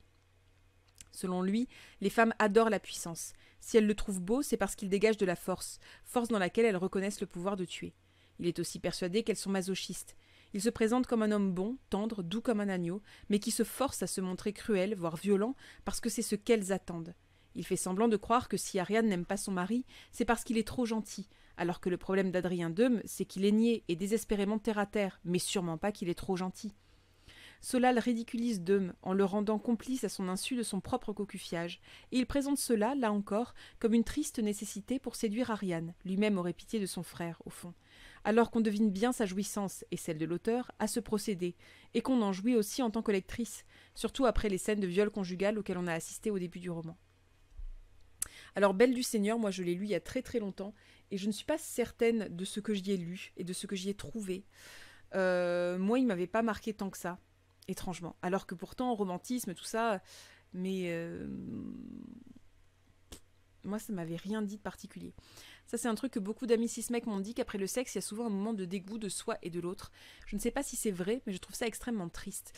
Euh, ce dégoût de soi et de l'autre, il y est aussi très présent dans la masturbation globalement, et je pense que c'est il y a un fond autour de la sexualité et, de, du fait d'assumer sa sexualité qui, qui joue là-dedans. Bon, après, forcément, il y a aussi un rôle de la société patriarcale à l'intérieur, mais je trouve quand même que euh, c'est quelque chose qui est assez bien partagé, cette honte autour de la sexualité, et je pense que ça naît plus de nos sociétés euh, euh, très religieuses, enfin avec un fond euh, de convictions très religieuses et de, morale très religieuse, plutôt que euh, réellement, profondément d'une société patriarcale. Je pense que le dégoût, il est, infusé un peu partout, globalement, dans l'idée même de sexualité. Pardon, je reprends. Oui, du coup, sur Belle du Seigneur. Ouais, moi, je, sais pas, j'en avais pas retiré autant de trucs, mais elle, vu qu'elle l'analyse énormément, euh, je suppose que c'est quelque chose qui est, euh, très euh, important pour elle. Lorsque j'ai découvert Belle du Seigneur, il y a 25 ans, j'étais une de ces midinettes qui rêvent d'amour miraculeuse, pour reprendre les mots de Denis de Rougemont. Il m'a fallu du temps pour mesurer tout ce qui n'allie pas dans sa vision de l'amour, comme dans sa vision des femmes. Je continue d'admirer la virtuosité libé... Pardon, il est tard, et je commence à fourcher beaucoup. Je continue d'admirer la virtuosité littéraire d'Albert Cohen, son style à la fois torrentiel et lapidaire, son lyrisme, son agilité, sa cocasserie, mais je lui en veux d'autant plus. Il a instillé ses idées en moi avec d'autant plus d'efficacité qu'il l'a fait avec génie. L'adaptation cinématographique réalisée en 2012 par Glenio Bonder avec Jonathan Rice-Meyer et Natalia Vodianova dans les rôles de Solal et d'Ariane et Marianne Faithfull dans celui de la bonne, Mariette, montre bien que ce qu'il reste montre bien pardon, ce qu'il reste, quand son écriture n'est plus là pour sublimer son intrigue. Un scénario d'un sexisme et d'un snobisme achevé, avec le recul, le mépris de classe, par exemple quand Solal observe un couple de jeunes prolétaires dans un train, que je n'avais pas relevé à la première lecture, me frappe aussi. Alors, je pense que de toute façon, on va s'arrêter là. Euh, on en est au milieu du prologue. C'est pour vous dire à quel point ce livre est dense on reprendra ça. Je pense qu'on va le reprendre. Euh, qu'on va essayer d'aller plus loin pour essayer de comprendre un peu ce qui se joue dedans. Je sais pas trop quand est-ce qu'on le reprendra. Euh, potentiellement dans la semaine prochaine. Je vous dirai ça sur euh, Insta et sur Twitter. Je suis à moitié convaincue pour l'instant parce que j'ai l'impression que le, cœur du livre est extrêmement tourné autour de l'amour Or, eh ben, après, d'un autre côté, bon, son livre s'appelle Réinventer l'amour. Mais, euh, mais il est quand même sous-titré Comment le patriarcat sabote les relations hétérosexuelles. Et quelque part, beaucoup dans la façon dont elle, a, euh, fait la promotion de ce livre, il y a eu énormément euh, de, discours autour de le féminisme et de comment est-ce que le féminisme euh, n'autorise pas ou plus les relations hétérosexuelles telles qu'elles étaient conçues à la base, etc., etc. Et je trouve que là, pour le coup, on a plus un long début sur l'amour et la conception de l'amour au sein euh, de la société telle qu'elle est, sur la façon dont euh, l'amour... Merci beaucoup, docteur Pierre. Encore le retour de la colonne bientôt. Merci à tous. Ah bah écoutez, euh, du coup, est-ce qu'on continuerait pas un tout petit peu la lecture, étant donné qu'il y a... Y a tout le raid qui débarque? Bonsoir. Bon, écoutez, on était en train de se dire qu'on allait arrêter de lire, et puis finalement, vu que vous êtes là, eh bien, on va continuer un petit peu. Voilà. Donc, je vais boire, par contre. c'est de l'eau. C'est dans une bouteille de bière, mais c'est de l'eau. Promis. Non. Il n'y a pas d'avant-propos, ce coco. Je te le dis, il n'y a pas d'avant-propos. Qu'est-ce que vous faisiez? Là-bas, là, d'où vous venez tous. Nous, on est en train de lire, du coup, Réinventer l'amour de Mona Chollet. Et donc, du coup, je disais justement que j'étais pas euh, convaincue. Oui, n'est-ce pas hein, Être accueilli par Théoden. Euh, merci beaucoup, docteur Pierre. Dis-moi ce que vous faisiez, je suis, je suis curieuse. Oui, donc du coup, on était en train de dire que là, pour l'instant, euh, j'ai l'impression que c'est un très long début sur euh, l'amour euh, au XXIe siècle, pourquoi est-ce que on a du mal à considérer que l'amour calme et tranquille, c'est de l'amour? Je trouve qu'il n'y a pas grand-chose en réalité de politique pour l'instant, vous voyez? Et que cette, cette, introduction, qui est certes bien écrite et très bien étoffée, référencée, pourrait complètement être dans un ouvrage un peu intello sur euh, de développement personnel amoureux. Vous voyez ce que je veux dire? Et ça me gêne un peu. On regardait une comédie d'horreur avec des clowns tueurs qui viennent de l'espace. Eh bah écoute, parfait. Moi j'ai envie de dire euh, oui. ça a l'air chouette. Merci d'être passé, Litena. N'hésite pas à repasser, effectivement. Euh, donc on va lire, allez, on va lire un, petit, euh, un petit paragraphe, enfin un petit paragraphe, il dure euh, trois pages, hein, ces paragraphes, mais on va parler du coup, on va lire un peu plus avant les délices de l'amplitude temporelle. Nous avons besoin de redonner du jeu à notre façon d'envisager l'amour, de lui réinsuffler de la vie, en pulvérisant à la fois le carcan bourgeois du parcours obligé et celui tout aussi convenu et limitant de la passion destructrice. Nous avons besoin à la fois d'un peu plus d'audace et d'un peu moins de complaisance dans les postures neurasthéniques. Cette démarche ne peut être que très personnelle, et l'idéal que je me propose d'ébaucher maintenant ne prétend évidemment à aucune validité universelle. Mais il permettra au moins à mes lectrices et lecteurs de savoir qui leur parle, et peut-être aussi d'examiner les désirs qu'ils nourrissent eux-mêmes, de préciser leur propre vision à travers leur adhésion ou leur désaccord. Je pense. Je pense que c'est parce que tout est très très très très autobiographique qu'il y a un effet un peu développement personnel dans ce livre. Parce que autant, et eh ben Mona Chollet, autant dans son livre sur les sorcières, il y avait quelque chose euh, d'assez euh, jubilatoire, je trouve, même dans ce, cette façon de parler un peu autobiographique, dans cette façon d'écrire euh, un peu autobiographique, très envolée et très personnelle, et voilà. Autant là, sur un truc sur l'amour, je trouve que ça fait très vite développement personnel. Mais bon, vous êtes en droit, vous êtes en droit d'être en désaccord, hein, vraiment.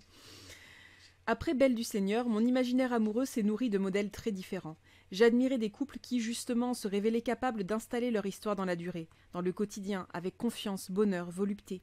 Pour moi, les liens tissés au fil des années, amour ou amitié d'ailleurs, nourris du génie propre de chacun, de sa générosité, de ses ressources insoupçonnées, ceux qui font s'entremêler profondément deux existences, sont ceux qui donnent du sens à la vie, la seule victoire possible sur la mort. Alors encore une fois, le, vraiment le principe que l'amour, euh, aimer, c'est ce qu'il y a de plus grand. aimer, non, aimer, c'est ce qu'il y a de plus beau.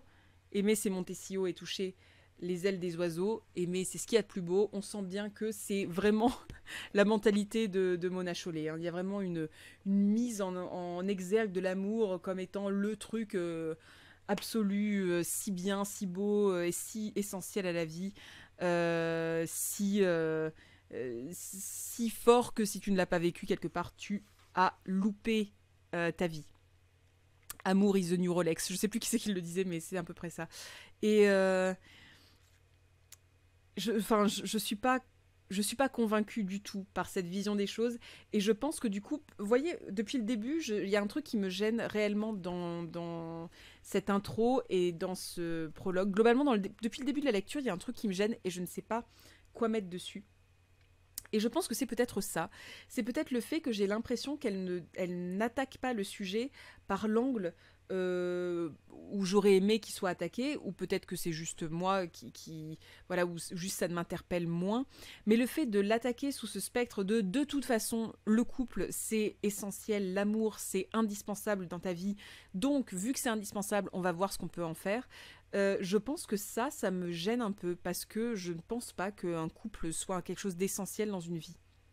Et, je, je, je, pense pas que ce soit un but, je pense pas que ce soit une condition sine qua non pour être heureux. Et je pense que le fait qu'elle infuse l'idée contraire, ça me, ça me perturbe un peu. On, rappelle pour les nouvelles du raid que Mona Chollet est abolitionniste. Oui, on a fait un, bon gros passage au début là-dessus. Donc, euh, Mona Chollet n'aime pas les séries pour ados parce que c'est fait pour vendre de la musique, c'est dangereux parce que commercial. Ah oui? Hmm. Aimer jusqu'à l'impossible. Ouais, c'est possible. Est-ce qu'on va faire toutes les histoires d'amour euh, qu'on a en tête en chanson ou comment ça, comment ça se passe? Shona Mollet aime aimer pour l'amour de l'amour. Oui, oui, je pense, je pense. Elle attaque l'amour par l'angle quasi purement symbolique et mythique. Ouais, oui, oui, c'est... Oui. Oui. Un grand philosophe a dit il en faut peu pour être heureux. Il ne parlait pas d'être en couple. Tout à fait. Puisqu'on est dans les grands philosophes, après aimer c'est ce qu'il y a de plus beau. Alors, donc, la seule victoire possible sur la mort. Voilà. Donc, tous ceux qui n'aiment pas déjà, euh, c'est dead. L'amplitude temporelle d'une relation amicale ou amoureuse est un cadeau inestimable. Alors après, bon, elle met ça en, en relation avec la relation amicale. Et c'est la première fois depuis le début du livre, et je trouve que c'est important et que c'est bien, quand même. Le fait de ne pas être resté brouillé avec mon ex-compagnon après notre séparation me permet de continuer à lui dire Tu te rappelles? à faire revivre avec lui notre passé commun, tous les événements dont nous sommes seuls à nous souvenir. Chaque fois, cela me remplit d'une gratitude infinie. De même, je préfère les séries aux films parce que j'aime suivre l'évolution d'un personnage sur plusieurs saisons, découvrir des aspects inattendus de lui, voir se déployer sa richesse, sa complexité, mesurer le chemin parcouru. Bon, ça, je vois pas trop le rapport, mais pourquoi pas. Certains scénaristes savent d'ailleurs à merveille jouer de cet atout, en sollicitant par des allusions ou des flashbacks les souvenirs que le spectateur a en commun avec ses héros, en lui faisant toucher du doigt la longue intimité qu'il a nouée avec eux. Ils savent bien que c'est une sensation intensément satisfaisante, même avec des êtres de fiction. Alors, là, je sais plus de quoi elle parle, là, par exemple. là, je sais plus de quoi elle parle. Je trouve que ça part vraiment dans tous les sens, et là, le rapport avec l'amour, c'est quoi? C'est le fait que, quand on est en couple, le fait de garder, euh, de garder un lien amical ou amoureux avec quelqu'un, ça fait qu'on peut exprimer des souvenirs en commun et que du coup, c'est essentiel à la vie. Mais quel est euh, le rapport du... En fait, elle soulève tout ce qui est problématique et qu'il faut changer, mais comme elle ne fait que le soulever, on ne sait pas trop si elle trouve ça bien ou pas. Enfin, pour l'instant, on n'a aucune clé pour déconstruire quoi que ce soit. Mais oui, c'est ça. Euh, merci, docteur Pierre, pour le raid encore. Et, bonne soirée à toi. On m'objectivera peut-être que j'exprime ici un idéal d'amour toujours très conventionnel, moi aussi. Et c'est vrai. Ah, tu vois, Illuner Elle a devancé ton truc. Il s'agit d'une aspiration le plus souvent considérée comme romantique, naïve, irréaliste et typiquement féminine, et d'un idéal résolument monogame de surcroît, alors que de plus en plus de voix se font entendre aujourd'hui pour clamer qu'il n'est pas raisonnable de tout attendre d'une seule et même personne. Mais pour moi, la saveur de l'amour est indissociable du fait d'accorder une place privilégiée dans sa vie à quelqu'un et d'occuper une place similaire dans la sienne, de distinguer l'autre et d'être distingué par lui, de sorte que le polyamour se situe tout simplement au-delà de mes capacités de compréhension. Elle est quand même très traditionnelle, Mona Chollet, sur pas mal de trucs. Euh, le, le principe de, de du fait de, enfin pas mal de trucs qu'elle fait, hein, euh, mais de pas envisager par exemple l'amour comme quelque chose d'un peu moins binaire que les relations hétérosexuelles entre personnes cis, c'est quand même. Enfin. Je sais pas, il y, a un truc, euh, il y a un truc très boomer aussi dans la façon qu'elle a un peu de voir l'amour, les références qu'elle met, notamment avec Belle du Seigneur, etc. Il y a un truc très ancré aussi dans une certaine génération qu'elle ne nie pas, hein, mais qui, qui est peut-être aussi une clé pour euh, comprendre ce qui me perturbe un peu dans ce prologue. Mais bon, voilà, au moins elle avoue que le polyamour se situe tout simplement au-delà de mes capacités de compréhension. Donc au moins, euh, voilà. Comment tu veux déconstruire le couple hétéro si tu avoues dès le prologue ne pas comprendre tout ce qui en sort? Je, Ouais. Je sais pas. J'aime mon pote, mon ex, mes enfants, le chocolat, le curcuma, dessiner les aurores et je la mort. Peut-être, Coco. En tout cas, ça ferait une très très belle euh, chanson de comédie musicale. Un très beau début de chanson, je trouve. Quant aux relations ouvertes, elles me semblent nécessiter une immense confiance en soi. J'admire celles et ceux qui y parviennent. Ce genre de relation a probablement été, élevé au rang de chef-d'œuvre par Frida Kahlo et Diego Rivera au cours de leur mariage. Hmm. Bon, après, c'est relations ouvertes, mais euh, relatives. Hein. Tous deux ont vécu des histoires intenses et passionnées avec d'autres personnes, sans jamais mettre en péril le lien qui les unissait. Ouais, Enfin, après, Frida, elle a quand même douillé sa race euh, par rapport à, Diego Rivera, où elle l'aimait profondément et où elle a été, euh, elle a été détruite par énormément des relations qu'a eu Diego Rivera euh, en dehors d'elle. Hein. Donc, bon, c'est relatif, mais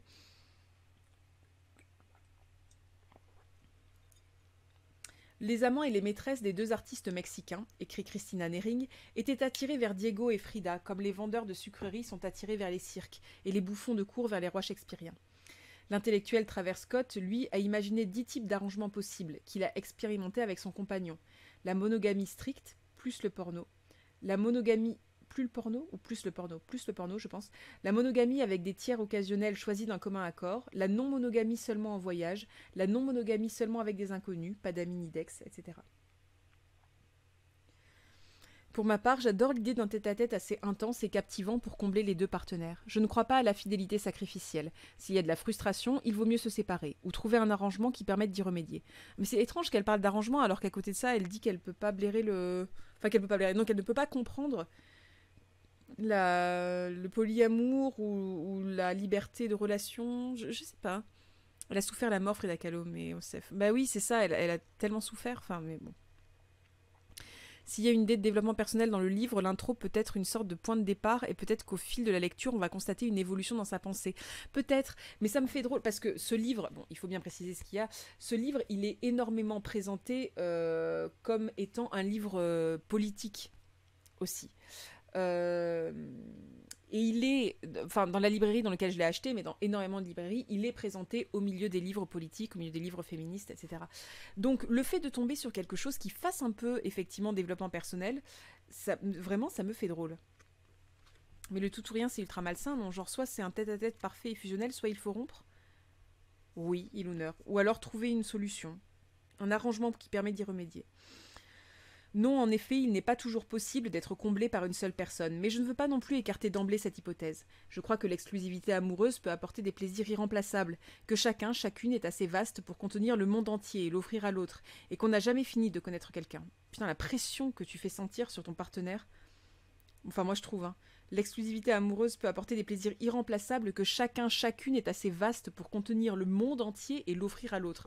Moi, je trouve qu'il y, a une pression là-dessus, alors que pourtant je suis dans une relation exclusive et que je je, sais pas si je serais capable d'être dans une relation non exclusive. Mais je n'exige pas et je ne pense pas que l'autre peut contenir le monde entier pour me l'offrir. Enfin, là-dessus, il y a quelque chose qui me déplaît beaucoup, vraiment et qui est d'une pression folle. Enfin, je trouve que ça, ça, ça met une pression folle. J'aime assez la définition de la fidélité que donne Denis de Rougemont, l'acceptation décisive d'un être en soi, limité et réel, que l'on choisit non comme prétexte à s'exalter ou comme objet de contemplation, mais comme une existence incomparable et autonome à son côté, une exigence d'amour actif. Dans son livre L'amour sous algorithme, qui mêle enquête et récit personnel, la journaliste Judith Duportail raconte sa rencontre avec un homme sur Tinder. Leurs débuts sont idylliques. Puis un jour, elle découvre que, comme elle, il a été interviewé par un magazine quelque temps auparavant pour un article sur les, sur les applications de rencontres. Il y disait notamment Quand tu chopes une fille sur Adopte un mec, tu conserves toujours ton compte. Du coup, même si ça se passe bien, tu as toujours la tentation de retourner sur le site pour voir s'il n'y a pas mieux en rayon. Il n'ira avoir dit en rayon. Elle est très perturbée par ces propos. Plus tard, une anthropologue américaine lui expliquera que, pour, rendre leur utilisateur accro, les applications recourent à la récompense aléatoire et variable, l'un des mécanismes psychologiques les plus puissants de l'addiction, auxquels les machines à sous, une industrie aux bénéfices colossaux, doivent leur succès. Elles ont besoin que leurs utilisateurs reviennent le plus souvent possible consulter leur compte. Leur modèle économique repose donc sur l'éternelle insatisfaction des hommes et des femmes qui les utilisent sur leur incapacité à se fixer.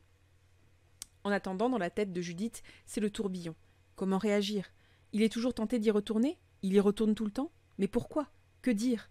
Que je suis heurté, sous peine de passer pour une relou? Faire semblant de m'en moquer? Cette logique du retour régulier en rayon m'évoque un jardinier qui négligerait ou piétinerait ses cultures. Alors pourquoi le, non le parallèle du jardinier et de la culture c'est un peu c'est un peu réac non? Je sais pas. Adopte dans le shop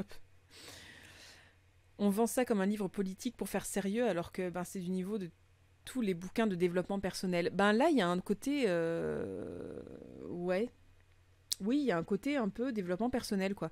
Mais on dirait depuis le début qu'elle se défend contre toutes les alternatives, le lesbianisme, le polyamour. On dirait qu'elle se sent attaquée à cause de son statut d'hétéro-monogame. Ça fait un peu réac quand même. Ben oui. Oui. C'est présenté comme politique parce que Mona Chollet est une militante. Oui, non, mais c'est ça. C'est ça, mais en, vrai, le livre, je suis pas certaine qu'il soit si politique que ça. En fait. Euh, ça parle de Frida Kahlo. Me lancez pas sur Frida Kahlo. C'est mon idéal euh, absolu et mon idole absolue aussi. Ne me lancez pas sur Frida Kahlo. non, pour moi, c'est pas une femme qui a. C'est une femme qui a énormément aimé, mais qui a beaucoup souffert aussi en amour. L'a présentée comme étant euh, le l'idéal même du couple, du couple libre, euh, je suis pas d'accord du tout avec. Vraiment pas. Elle a eu un couple libre, mais je pense que c'est parce qu'elle a pas eu le choix aussi. Euh, bref, où en est-on? Oui, le jardinier qui négligerait ou piétinerait ses cultures. Je, déteste cette, euh, cette, cette analogie. Je la déteste, vraiment. Tu as lu son journal du coup? Oh oui, tant de fois. Et ses lettres, et voilà, je... Oui. D'ailleurs, on pourrait le lire hein, ensemble un jour ou l'autre. On le lira ensemble un jour ou l'autre, vous savez quoi? Le journal de Frida Kahlo. On pleurera tous ensemble dessus. Les lettres de Frida Kahlo, surtout, je les trouve magnifiques. Oui, tout est politique, oui. Même le développement personnel, quelque part. Quoi de plus sinistre que de vivre l'amour comme un arbitrage permanent entre les qualités respectives de divers objets? Évoquant les prêches des magazines et le bonheur qu'ils font miroiter à leurs lecteurs, Denis de Rougemont pointait déjà une contradiction fondamentale.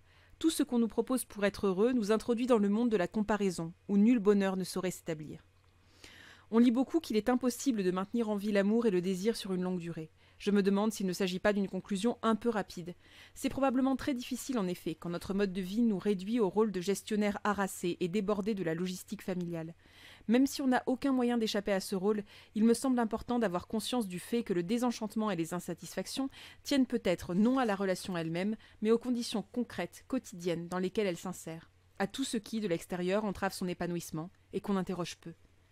Un jeune père me raconte émerveillé la douceur et la facilité de sa toute nouvelle vie, une douceur et une facilité auxquelles il ne s'attendait pas, et qu'il attribue au fait que sa compagne et lui travaillent chez eux et sont donc maîtres de l'organisation de leur temps, disponibles à la fois l'un pour l'autre et pour leur fille. Je me souviens quant à moi de mon sentiment de deuil, de spoliation, de mon atterrement le jour où mon compagnon, rencontré alors que nous étions étudiants, est devenu salarié à temps plein. Je suis restée journaliste indépendante quelques années de plus. Non pas que j'aurais voulu être collé à lui en permanence, au contraire, j'ai un grand besoin de solitude. Mais il y a dans le salariat quelque chose d'invasif, de vampirisant, qui opère une sorte de capture et fait de l'autre, dans une certaine mesure, un étranger. Mais c'est très étrange comme vision des choses. Vous trouvez pas ça un peu euh, envahissant comme, euh,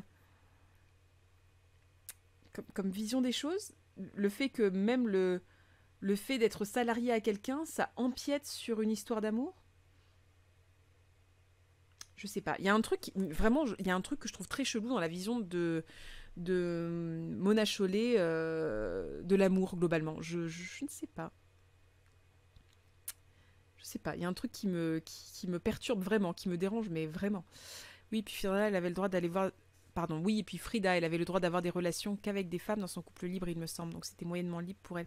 Après, elle a eu des, relations avec des hommes aussi. Hein. Elle a eu des relations avec euh, tout un tas de monde. Mais, euh, mais elle a souffert euh, de, l'infidélité de Diego à fond, donc on ne peut pas appeler ça un couple libre, puisque normalement le couple libre, le principe c'est que ça se bâtit pas sur la, souffrance euh, les uns des autres et le fait d'essayer de, contrer la souffrance avec, euh, avec, un, avec une autre personne, et voilà, c'est pas ça quoi. Ça peut probablement, mais c'est vachement varié. Bonsoir, bonsoir Spartagus, c'est drôle. Spartagus, c'est vraiment très drôle. Enfin, la sécurité de l'emploi, c'est de la prison? Bah oui, c'est bizarre. C'est bizarre. Je ne sais pas. Un contrat salarial de l'amour, bah oui. L'idée du couple de Mona Chollet me file des bouffées d'angoisse. Je suis pas sûre qu'elle sache vraiment où elle va. Je sais pas. Écoutez, je suis un peu, je, suis un peu, euh, un peu troublée par cette lecture. Je trouve, ça me, ça me, enfin, je, me demande ce que ça fout dans un truc euh, militant féministe en fait. Bon, bref. Peut-être qu'elle va le révoquer complètement après. Hein. Donc on va continuer. Les premiers temps, quand il rentrait le soir, j'avais l'impression qu'on l'avait évidé et qu'on me rendait une défroque censée être lui. Après, on s'habitue, on s'adapte évidemment. Je crois qu'il existe beaucoup de manières d'exister et d'agir dans le monde, de partir et de revenir, qui permettent davantage de souplesse, qui n'impliquent pas cet épuisement d'un genre particulier, ce rabougrissement du lien avec la personne aimée. Le confinement du printemps 2020, s'il a été mis en place pour des raisons funestes et s'il a été d'une extrême violence sociale, a néanmoins permis à certains couples de se retrouver d'une manière qui n'aurait jamais été possible sans cela, une professeure de français en disponibilité, vivant dans un petit village de Loire-Atlantique, disait par exemple son plaisir d'avoir son mari à la maison 24 heures sur 24, alors qu'en temps normal il est absent de 8 heures à 20 heures. Comment avons-nous pu accepter comme normal ce mode de vie où nous sommes profondément privés de la personne avec qui nous partageons pourtant notre maison et notre lit? C'est pas hyper bizarre ce moment-là? Je, je suis pas du tout d'accord avec ce passage-là. comment ça se fait que... Alors, je peux comprendre que certaines personnes veuillent être 24 heures sur 24 euh, avec leur, euh, leur euh, moitié, comme on dit chez les boomers, mais je ne comprends pas du tout ce que ça vient foutre dans une remise en question du couple hétérosexuel de nos jours, en mode avant on était plus souvent ensemble, maintenant on l'est moins, et, et ça donne une sensation compliquée, je sais pas quoi le principe d'avoir un extérieur, c'est pas un peu la base qui fait que beaucoup de couples fonctionnent, le fait de ne pas être 24 heures sur 24 ensemble, le principe du confinement et le fait que certaines personnes ont particulièrement aimé être avec leurs proches 24 heures sur 24, effectivement, euh, ça, ça a remis en question, je pense, certains trucs, mais moins sur le couple, ou des fois ça a été terrible pour plein de couples d'ailleurs, donc voilà, moins sur le couple que sur le système de travail, où, où on s'est dit brusquement, mais attends, être aussi longtemps loin de chez soi, euh, ne pas avoir de moments de, pause plus que ça, etc. Euh, peut-être que c'est pas forcément la vraie vie que j'ai envie de mener, et peut-être que je suis mieux dans un principe de télétravail où effectivement tu vas moins dehors, tu es plus concentré sur toi, tu as plus de choses à faire avec tes proches, etc. Mais est-ce que vraiment c'est quelque chose qui en dit long sur le couple? Ou est-ce que c'est pas plutôt quelque chose qui en dit long sur le, le travail et le monde du travail tel qu'il a été conçu jusque-là? Je sais pas, je, trouve vraiment qu'il y a quelque chose de pas clair en fait là-dedans, dans cette espèce de possessivité qu'elle a par rapport à son conjoint, euh, sur, son, sur le fait qu'être salarié, ça lui enlève quelque chose. Je sais pas. C'est quand l'interview de l'auteur pour mieux comprendre le propos? Bah, ce serait intéressant. Ce serait intéressant parce que vraiment, je trouve que c'est elle en a fait plein des interviews là-dessus, donc on pourra aller en lire une, mais je, trouve que c'est bizarre en fait. Et c'est pas sain. Enfin, moi, en tout cas, de, mon point de vue à moi, j'ai l'impression que c'est vraiment pas sain. Le confinement de 2020 a eu des conséquences catastrophiques sur la psychologie de beaucoup et la fumée quoi la Mona? Bah, je sais pas je sais pas bien. C'est chelou comme conception du couple, ça dépend de plein de facteurs comme la construction sociale, psychologique et culturelle complètement. Sans vouloir faire de la psychologie de comptoir, il y a un problème d'attachement là, non? Bah euh, oui. Non mais Mona Chollet mélange tout dans une vision bourgeoise de la vie en général. Mais là c'est vrai que là ça fait très... Euh, ça fait très vision un peu... Un peu euh, avec des œillères de, de personnes un peu bourgeoises et de son quotidien et de son environnement en fait. C'est étrange. Après, on peut le voir comme une critique de l'aliénation du travail dans le capitalisme qui vide pour être une personne entière en soi, le burn-out nuit au couple. Oui, non mais dans ce sens-là, c'est pour ça que je disais que c'est quelque chose où il y a plus à dire sur les conséquences que ça a de la vision qu'on a du travail. Et le, et le fait qu'on se rend compte que finalement le travail tel qu'il a été conçu euh, dans le capitalisme ne convient pas à une vie humaine, euh, épanouie. Et là, du coup, je suis d'accord et que effectivement du coup le fait d'avoir cet impact du travail ça peut nuire au couple. Mais là la façon dont elle le dit c'est-à-dire de dire ça a fait du bien d'être 24 heures sur 24 avec quelqu'un etc on n'a pas cette notion du travail. On a juste cette notion de il faut qu'on garde l'autre avec soi pour soi euh, tout le temps. Et euh, et je suis pas euh, je, je suis vraiment pas convaincue de ça. Genre vraiment vraiment vraiment pas convaincue de ça Vraiment pas. Je, je, mm, mm. sais pas. Écoutez, euh, bon, on, a poursuivi un petit peu, euh, un petit peu la lecture. Je pense qu'on va s'arrêter là parce qu'il est déjà 23h10 et j'avais dit que les lives du dimanche ils duraient pas trop trop longtemps. On reprendra. Euh, écoutez, on reprendra le livre là où on en était. parce que j'ai envie de savoir un peu plus et surtout j'ai envie de comprendre pourquoi ce livre-là euh, a été mis dans les livres euh, politiques. Il y a forcément un discours politique qui va arriver après, mais moi je trouve que là, tout de suite, comme ça, le discours politique saute pas aux yeux. Et alors, en plus de ça, on dit à chaque fois, oui, mais c'est l'intro, oui, mais c'est le prologue, oui, mais pour l'instant, on ne sait pas encore ce qu'elle veut dire, etc. Certes, mais il faut bien voir que quand même, intro et prologue, là, on en est... On en est au milieu du prologue, je dirais. Donc on a déjà lu l'intro avant ça, et on en est quand même à la page 45. Donc on a lu quand même, bon, une bonne grosse quarantaine de pages, et pour l'instant, c'est dur de, comprendre où elle veut en venir et si elle critique les clichés ou si au contraire elle s'accroche à eux en se disant que euh, il y a du vrai dedans et que c'est peut-être des clichés mais elle elle les vit comme ça. Je trouve que euh, il y a quelque chose de d'un peu gênant autour de ça et de cette je sais pas, de cette réappropriation des clichés. Alors peut-être qu'effectivement il faut le considérer comme une réappropriation des clichés avec tout ce que ça comporte. Mais je... ouais. Ouais, il y a quelque chose qui me met à distance. Vraiment. Euh, dans, la façon dont elle, euh, dont elle place aussi la vision qu'elle a du couple, elle, comme étant peut-être une base pour réinventer euh, l'amour ensuite. Je sais pas. Écoutez, en tout cas, j'ai hâte de lire un peu plus avec vous ce, livre-là. Je, pense qu'on continuera du coup dans la semaine prochaine. Je verrai si on peut pas faire un live, par exemple, un, un lundi soir ou un mercredi soir. Bon, le problème, c'est que je peux être un peu interrompue par euh, mon infin s'il fait un cauchemar, par exemple. Du coup, il y aura des pauses au cas où mon infin fasse un cauchemar. Mais, euh, mais oui, j'aimerais bien qu'on continue assez rapidement pour pas qu'on perde trop l'ambiance euh, qu'on avait déjà. mis en place. Écoutez, si, ça se passe bien avec... donc pour ceux qui, ne me connaissent pas, j'ai un fils et un marais. Euh, mais, euh, du coup, euh, si ça se passe bien au niveau du coucher avec mon fils, eh bien, pourquoi pas continuer le prologue demain soir, faire un, un petit live supplémentaire tant qu'on est dedans et qu'on on a encore le, le, titre et, le, et les différentes évolutions du prologue et de l'intro bien en tête. Voilà, on continuera ça. Je suis pour l'instant extrêmement dubitative et sur la portée politique et sur la portée même de développement personnel de ce truc. Vraiment, vraiment. Euh, écoutez, si vous avez envie de poursuivre cette discussion, je vous rappelle qu'il y a un Discord qui est euh, disponible. Voilà, Kitty, tu viens juste de partager le Discord. Très très bien. Je vous rappelle également euh, qu'il y, a, qu'il y a une chaîne secondaire sur laquelle vous allez pouvoir trouver euh, eh bien, euh, les replays euh, de ces lives pour ceux qui ne sont pas abonnés ni sur Utip, ni sur Tipeee, ni ici, et qui du coup ne pourraient pas avoir les lives tout de suite. Mais sur la chaîne des replays, en règle générale, il y a une bonne semaine entre le live et le replay. Voilà. Euh, que dire d'autre que euh, il y a une chaîne YouTube hein, à la base, que c'est une chaîne YouTube à la base. on se laisse la nuit. Bien évidemment, n'hésitez pas à aller voir la chaîne YouTube On se laisse la nuit.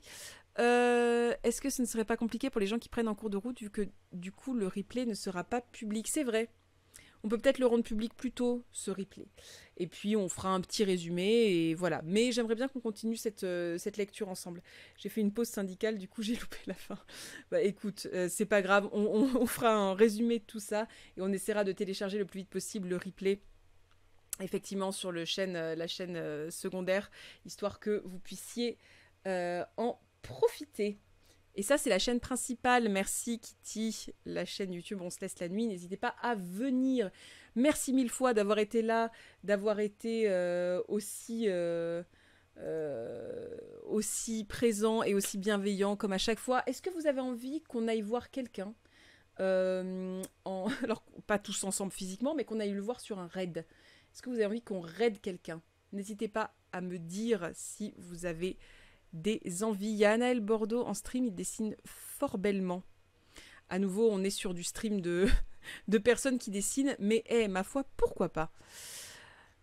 Ah merci pour le lien euh, du YouTube. Mais écoutez, merci beaucoup vraiment à vous. C'était très intéressant de lire, euh, de lire ensemble. J'aurais pas cru du tout que c'était comme ça. Vous voyez, je suis surprise.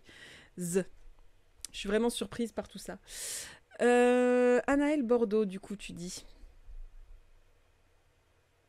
de l'art et qui dessine fort bellement.